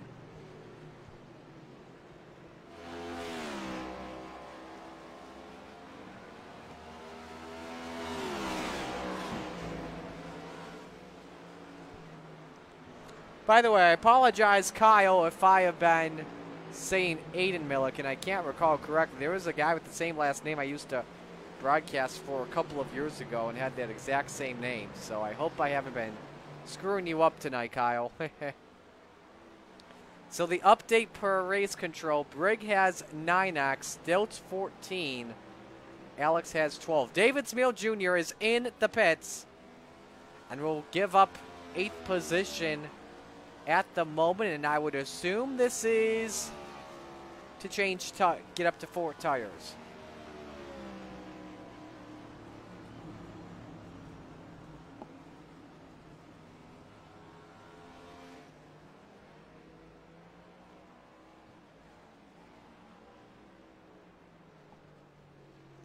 That is a drive-through penalty for Smeal, not a change of tires.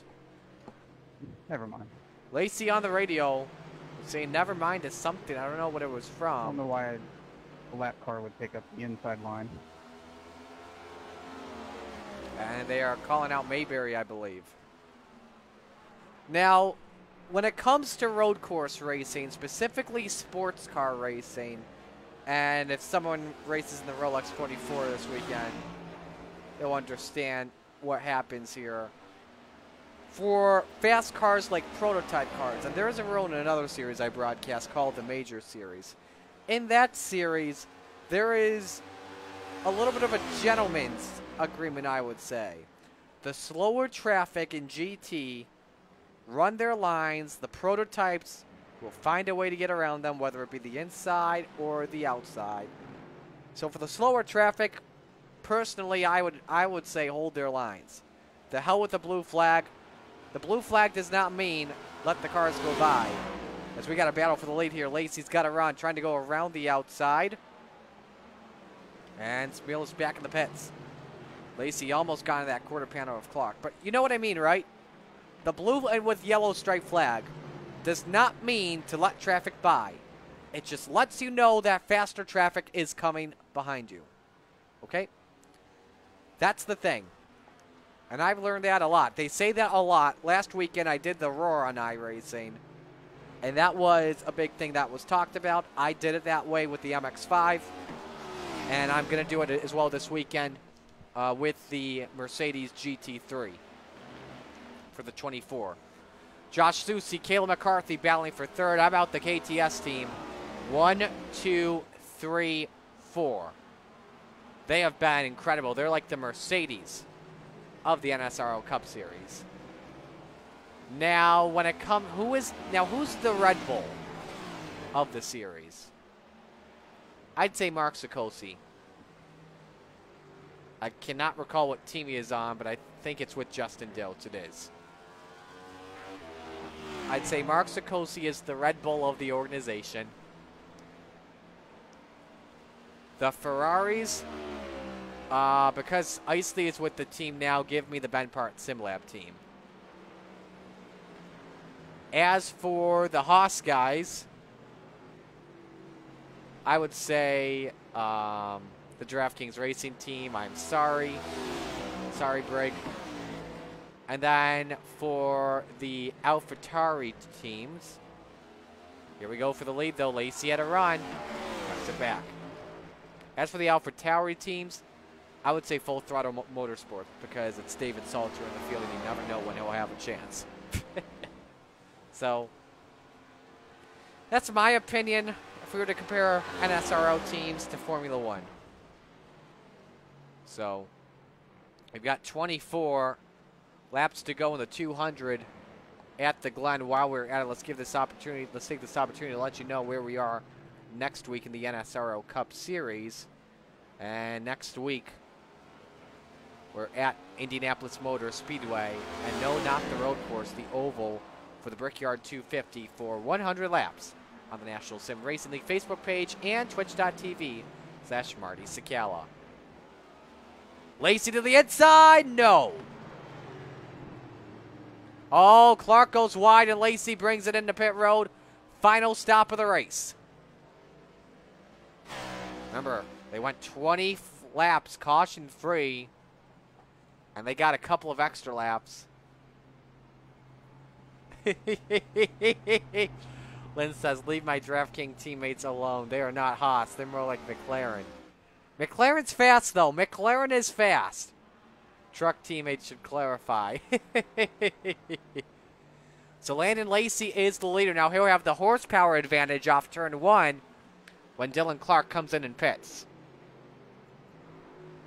Go back and watch second and third. McCarthy and Susie. Whatever second separates them, the best battle on track for P2.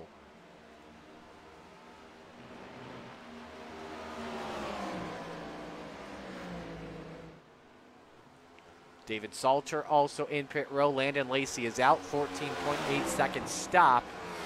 And the 53 just exiting the S's. Josh Susie takes away second position. Nice pass, something we didn't expect there. The 12 is creeping in. Dylan Clark now brings the number 34 into pit road. His final stop of the race. Salter does fuel only again. I don't know what his strategy is, but it is it's just baffling. They were fast and clean. Catch them next week at Indy or the truck race at Charlotte. Basically, Lightning McQueen. Minus Landon Lacey, who's a robot. you mean Rob Ott? so Clark is in the pits, and this will give the lead to Milliken. I don't think he led the lap at the line, though. Susie and McCarthy, by the way, they do come in together. So they come in early here, and they will have worn tires, but I don't think it will really matter. They are the class of the field this race, and even with the worn tires, I don't think it will really matter.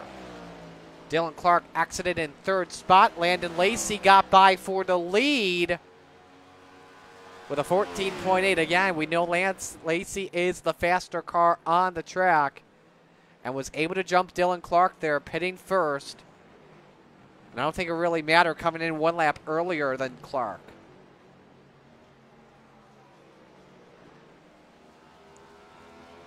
Isley, we yet to see him pit. Same with Milliken. Oh, trouble. Brig Swope around in the seven. In the inner loop. He saved it, though. It's still straight.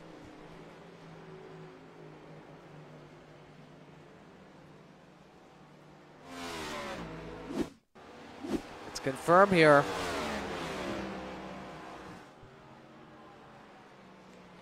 Oh, contact with... Oh, Sikosi lost the front end. That's not good. That is not good at all. I'm surprised such slight contact would lead to that. Braked early. And Sikosi, oh, he, he was either wheel hopping or he brake checked.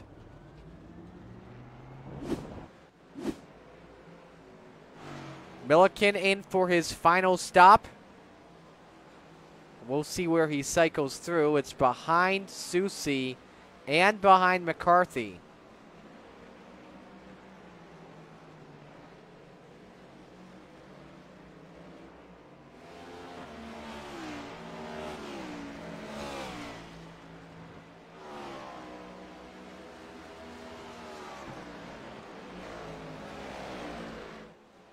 So Landon Lacey, the race leader, as he comes to 20 laps to go this time, still waiting on a couple of drivers. Isley, Sikosi, and Crowell for them to come in. They are currently third through fifth.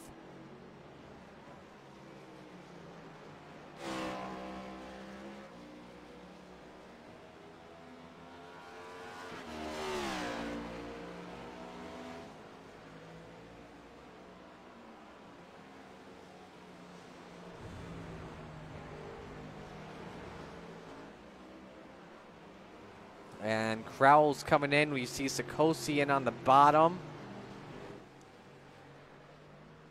Still waiting on Isley in third position. Isley, is that a hood off? Wow. He had contact with someone, but in the words of Phil Swift, that is a lot of damage. We do have him off track a couple of minutes ago. Did that relate to anything? Oh, yes. He wrecked it in the tire barriers. And that was before Brig Swope wrecked, so we apologize for missing that. But that is, I think he's trying to go as long as possible because when he comes into pit, that will be required damage he'll have to repair.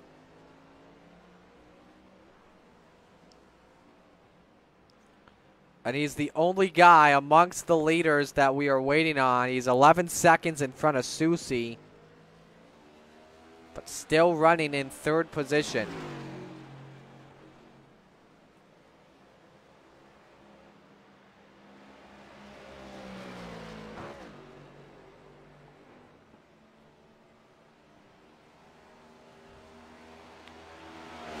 Isley, a two-time winner this season, won the Daytona 300 along with the World 375.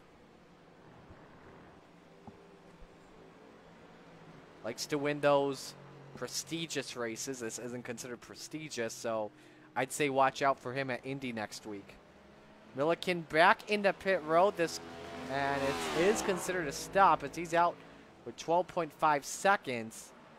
A late stop from Milliken that puts him all the way back to ninth. He's out of the race. Milliken parked it for the race. I have no idea why. But that's ridiculous. So Lacey goes another lap. We'll compare the lap times here. I mean, I know it doesn't matter. But that just shows you how faster Josh Susie is. No big battles on track. We can tell you, though, Landon Lacey is up by four seconds. The closest battle I have on my screen is with Don DeGroot trying to close in on Stan Mayberry for ninth, and that is about two seconds, the delta between the two drivers. Biggest mover of the race is David Salter from 19th up to 6th. With 18 laps to go on the lead lap, trying to do this with 60 laps of tires. I think it is. If not, it's 50 because we had the yellows on lap 30. We'll see what he can do. He's working on the lap car of Brian Preslar. Was trying to go around him. He remember he just has to hold his racing line because when race when lap cars don't hold their racing lines, they can, you know, be unpredictable. Isley going another lap.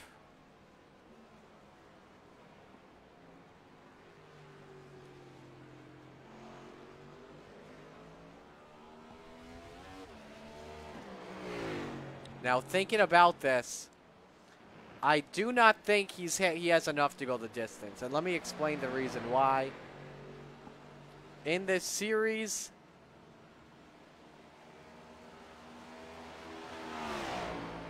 pardon me on that, there is no fuel cap in this series. But I can tell you this, it is very tough to try and make it on 40 laps.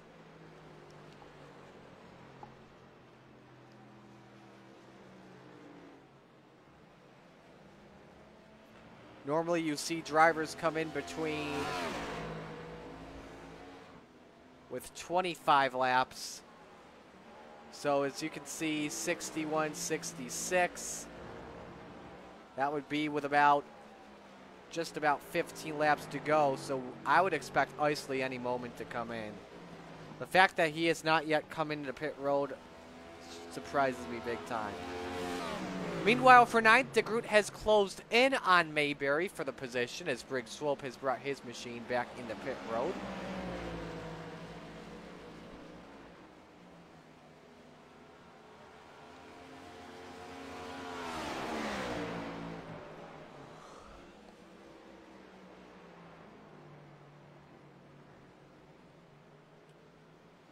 Confirming my notes here, DeGroot does have 20 laps of fresher tires compared to Mayberry, who is yet to come into pit road. Right on board with the 20. He's making his National Sim Racing League debut. Got some heat from Isley earlier after the first when they when we had one to green before our first restart. When he wouldn't drop to the back, he stayed in the racing line. And Isley did threaten him to threaten to spin him out. Like, don't do that to a rookie, man. That's just rude. Not to call Isley that on that because I like because Isley's a great dude. But come on. 15 laps to go. Landon Lacey continues to lead by three seconds. There's Clark right behind him. And Isley makes his way into the pits. And that will be required damage. Why don't we compare the last five laps? Four of the last five, Clark is inching closer, 3.7 seconds. And I think he could catch him by the end of this race. Who knows? Lacey looking for his third win of the season. And it would be back-to-back -back wins. Dylan Clark is looking for his second. His first was at Road America. And Clark way off track. What in the world just happened to Dylan? He went way wide in six. He locked him up big time, trying to work on Sakosi. Almost got in the gravel trap. If he hits the gravel, his race is done.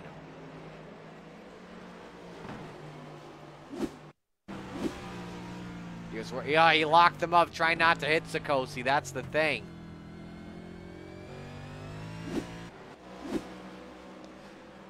So that puts him back six and a half seconds. I don't think it's going to be enough for Clark to close in.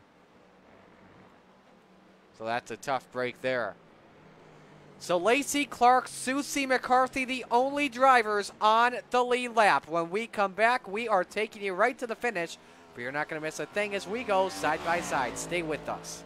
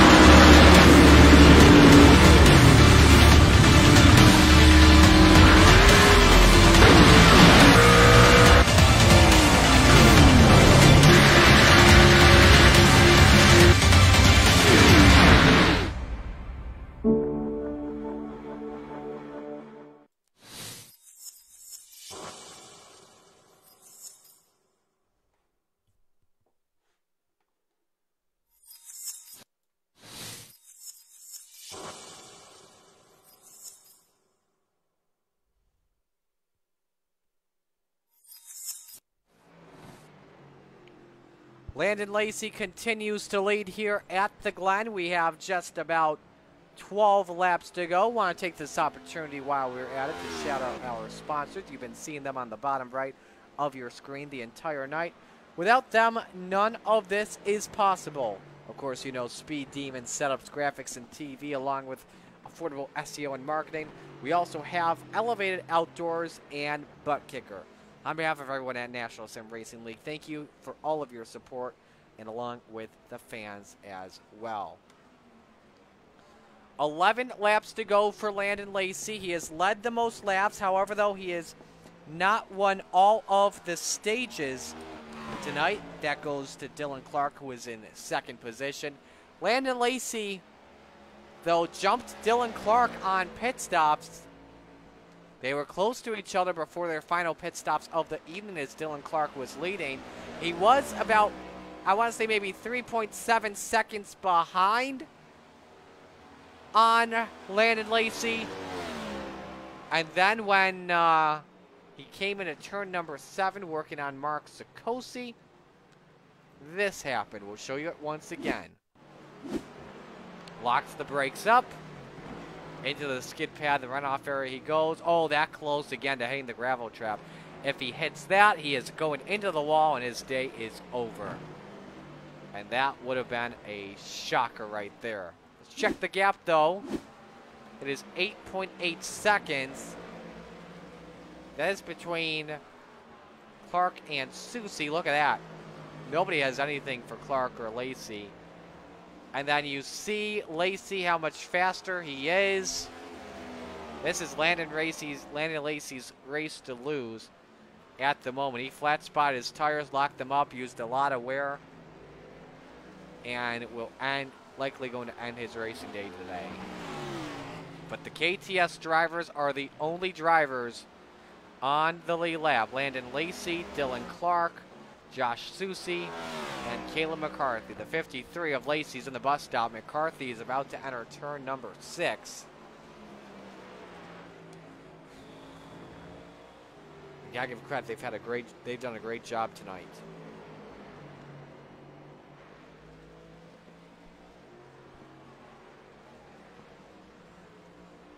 David Salter still in the seventh position and has not lost a lot of time to the guy behind him and Alan Crowell. So you got to give him credit there. Still in seventh position on maybe 50 laps of worn tires. Will not be disappointed with his run. Starting from 19th and has made his way up to 7th. Mark Sikosi, I think, just passed him for 6th position. What a destroyed race car, a modified car the number 91 has. In case you're wondering how he got that, there was contact when he locked the brakes up with the 7 of Brig Swope, made contact with him. It kept the cars going, but it sent the 7 for a sideways run. Brig Swope currently in 13th position. If a yellow flag does come out, Isley is the first car a lap down. We take a look at Isley, still doesn't have the hood on his car, so I think that was just optional damage. Isley wanted to get back out on that track as soon as possible. It's about 10 seconds behind on Isley as Dylan Clark starts to work on him. He just hit that big bump on the inner loop. There's a big sausage curb that's been updated in the new textures from iRacing.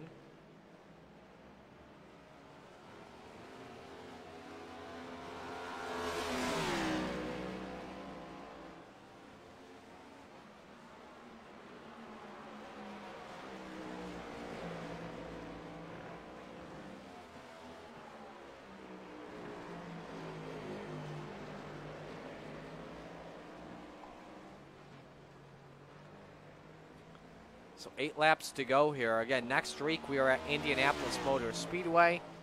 That should be a fun one. You do not want to miss out on that. We are at the Oval of IMS at Roger Penske's home.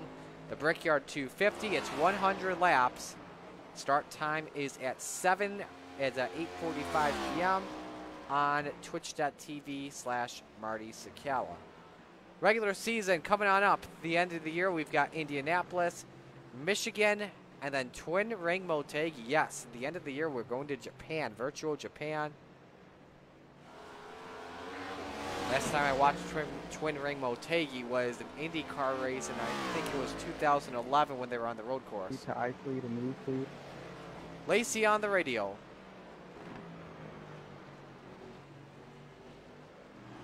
I think he is asking David Smeal to move or saying thank you to Isley for moving. Isley's in turn number six. I think he was asking Isley to move for Dylan Clark.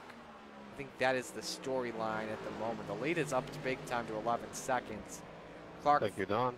flat, sp- flat spotted his tires. Closest battle we have is David Salter and Mark Sikosi. Remember, Sikosi just made that pass for sixth position. That gap increases on David Salter, the Iowa winner. Now, as we take a look at the standings, a couple of drivers aren't eligible because they started late on the year, like Salter, only his fifth start on the season. Landon Lacey's win won't count. His debut race was at Iowa in December. Won't be able to hit the 13 mark. But for Josh Susie, though, as long as we don't get a late race caution, Susie will be the number one seed in the playoffs with five wins. He has made every race this season. And a nice rebound from for him after that contact in the S's right here in this exact area with Ryan Broderick.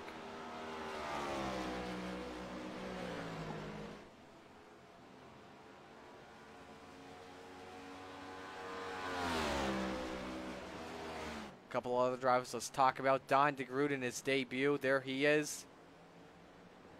Ninth place run. I'd say this is a great debut for the driver of the number 20 on the road course. I wouldn't be disappointed in his run if I was Don. The lone Canadian, by the way, in the field. He's got the Canada flag on my end. Everyone else is from the US of A.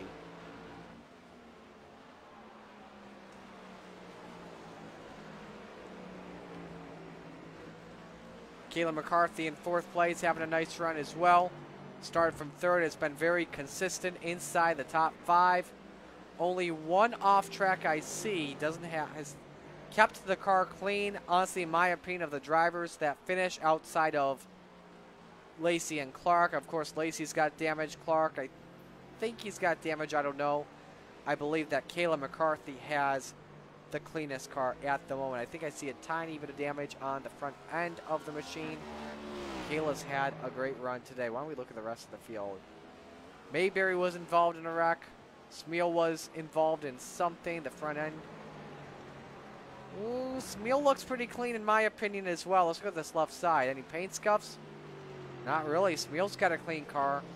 Only five off tracks though. Preslar's car. I think he was involved in a wreck though, so he may have used some damage repairs. Same with Briggs 12, who's got the damaged car. Those are the only drivers we can look at. Everyone else is out of the race. Justin Diltz still being Justin Diltz on pit road.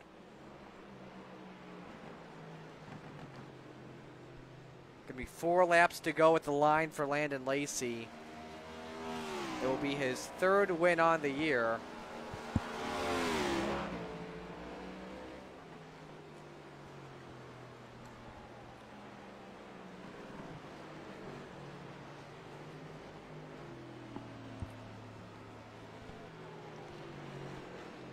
Again, not eligible for the playoffs, but one of the more respected drivers here in the series. Big lead. Now, can he lap McCarthy? I think he'll let McCarthy off the hook easy. In the S's, Lacey's about to enter, McCarthy's about to exit. I think if Lacey catches up to McCarthy, I think he'll slow down. And I think Dylan Clark would do the same thing, probably. They're in safe positions where they want to be. But if Clark closes in, though, I think Lacey will lap Kayla. But I think everyone's going to stay in the positions they will be unless we do get a late race yellow. But so far, nothing big that we need to talk about on our screens. I think, in my opinion, this is probably one of the more better road course races we have had on the season. So a round of applause for all the drivers. They have really put on a great show in this race. Hasn't been like a Formula One boring like race where it's all just about strategy. This has been really a race where not just strategy but also trying to pass the guy. A lot of passing, probably the most passes we've had in a road course race. A lot of wrecks drivers have had to dodge. Um, a lot of stack ups on the field.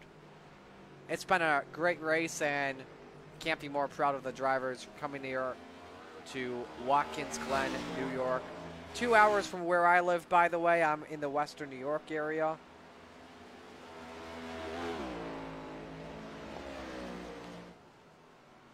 And it's been great. One of the better laps, by the way, just came from Dylan Clark, was about half second faster than Landon Lacey last time around. But what we saw last time, though, Lacey did get a little bit loose. Exiting turn five, but Lacey looking good at the moment for the rest of this race. He'll see the popsicles this time. I don't think he'll catch McCarthy to the end. We'll have two laps to go at the Glen.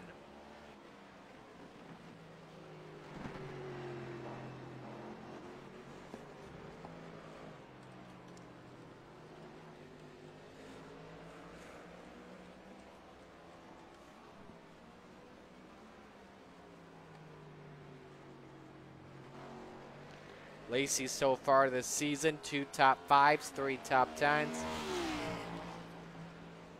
His two top fives on the year have come from wins. Everywhere, everywhere else, he's been inside the top 10. But we're definitely looking forward to talking with your top three. I'm really looking forward to hearing what Josh Susie has to say about overcoming all he has been through. That is a dent up machine at a road course where aerodynamics really matter with all the straightaways there are, all the fast corners. So I'm really looking forward to hearing what he has to say.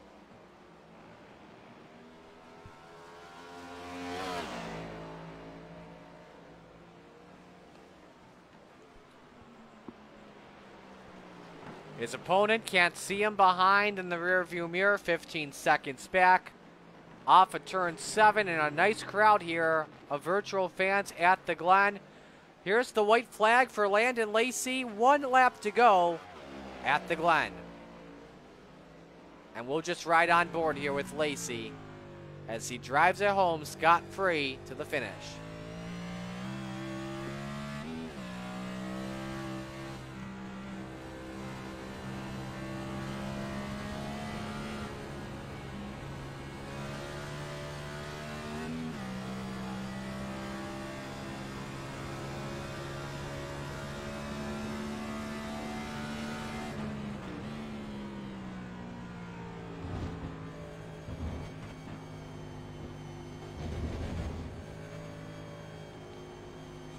Her nice and safe and make it home to the finish.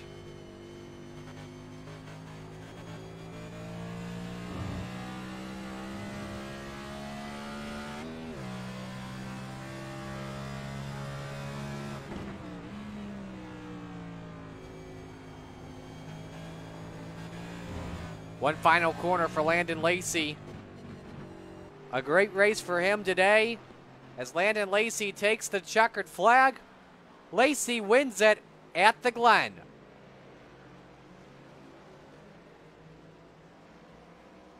And a great performance for him today.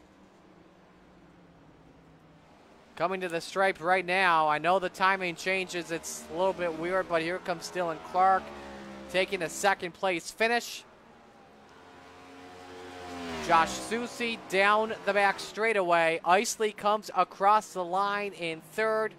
And what that means, ladies and gentlemen, all four KTS drivers, one, two, three, four.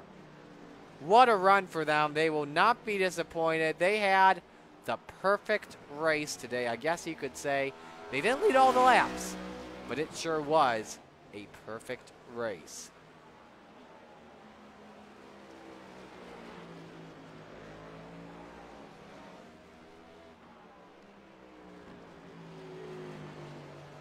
Josh Susie off of turn seven. He'll take the third place finish. I'm in their radios right now because guess what? I don't care because here goes McCarthy off of turn four. The perfect race KTS one, two, three, four. Landon, you led the way to the end. How does that sound? Uh, it sounds great. You know, had an awesome battle with my teammate there. uh, before pit stops, had to uh, kind of pull a little bit of strategy on him and pull the undercut to get ahead of him. Uh, but overall, very, very happy with the performance of this team. Um, you know, we've been putting in hard work week in and week out, and it's nice to see it pay off. Now I gotta ask, did you and Clark like have the AI difficulty set to easy or something? Like what the heck happened? I mean, I, I just I just think me and Clark are really are really good road course racers, and, and I think that showed tonight. And uh, you know, Dylan puts in great work, and you know, Josh and Kayla put in great work to get to get up there with us as well. So uh, very proud of these guys and, and proud of the whole team for the work that they put in. Well, nice job from you. Congrats on the win. Let's go to Dylan now. Dylan, I know you'll absolutely take a second place finish, that's for sure. I do want to ask, though, about turn six with you and Sakosi when you locked it up. What happened from your perspective? Just lap cars not getting out of the way. It's kind of frustrating. You're going into a, a corner and he just stops on entry, and then you're not expected it, and uh, it's frustrating. But I think Landon had it sealed once he got it past me. But uh, that was a fun race. One of Did- the more fun ones for sure. Did you flat spot the tires there in turn six? Is that really what used up all the uh, tire wear there? Yep, for sure. I uh, I cooked them, trying not to run into them, and uh, I think that was my undoing. But I'll take a P2 any day of the week. Absolutely, you will. Josh, I'm going to ask this. How in the world did you rebound from catching the wall way too many times, even spinning out from contact, to finishing on the podium? Uh, I was told I needed to learn how to drive, and I didn't know how to drive. yeah, um, I like the sarcasm there coming from that one guy who completely turned up into you. I was, I couldn't believe what happened there. And what was as well the most dangerous part of the racing surface as well. But this third place finish really shows you've got the drive, you've got the confidence to not give up and make your way back up on the podium. I do want to ask though, was there any optional damage you had on the car or no? Oh yeah, I had about three minutes optional between all the incidents throughout the race, and I was down on horsepower. and somehow you still finished in third. Well done to you. Kayla, I think you had the cleanest car of them all. Uh, I know we don't interview the top three, but I do want to get to your perspective with the KTS top four finish. Fourth place run for you, cleanest car of them all. Is that just really what road racing is all about? Just playing it safe, being conservative, trying to dodge all those bullets? Yeah, it really is. I mean, you just got to take take uh, take up on when the, when guys don't capitalize, and, and you can. Um, we almost didn't qualify tonight for the race just because I wasn't sure, um, and I saw how we how how much speed we had in practice. And uh, thanks to Susie and and Dylan for the reassurance that hey, I could be you know the top five for qualifying and, and be out of the mess. So I went and qualified, um, I can't be proud of this team, this KTS TSN team. These guys um, the amount of work we all put in every week, every day, just uh, I can't wait for the playoffs, man. We're we're we're definitely moving. Landon, I'll let you lead this one. Who do you want to give shout outs to tonight on behalf of the team? Um, yeah, of course, want to shout out uh, to Edge Setup Shop uh, for for me specifically. Um, thank you to everything those guys do. Um, Martin Sports um, is another big one for me, so thank you to those guys. Um, competition Designs, uh, if you're looking for a paint, uh, they have paint starting at five dollars in package prices. Uh, so check them out on Facebook at Competition Designs. Um, thanks to Charge Racing. Uh, thanks to all my teammates at KTS. Um, thank you to Mark and all the admins for putting this on. Thank you to broadcast for the broadcast. Um, and basically, thank you to everybody else that's gotten me here to this point. Well, guys, enjoy this top four finish. I know you'll be partying all night on this one. Congratulations.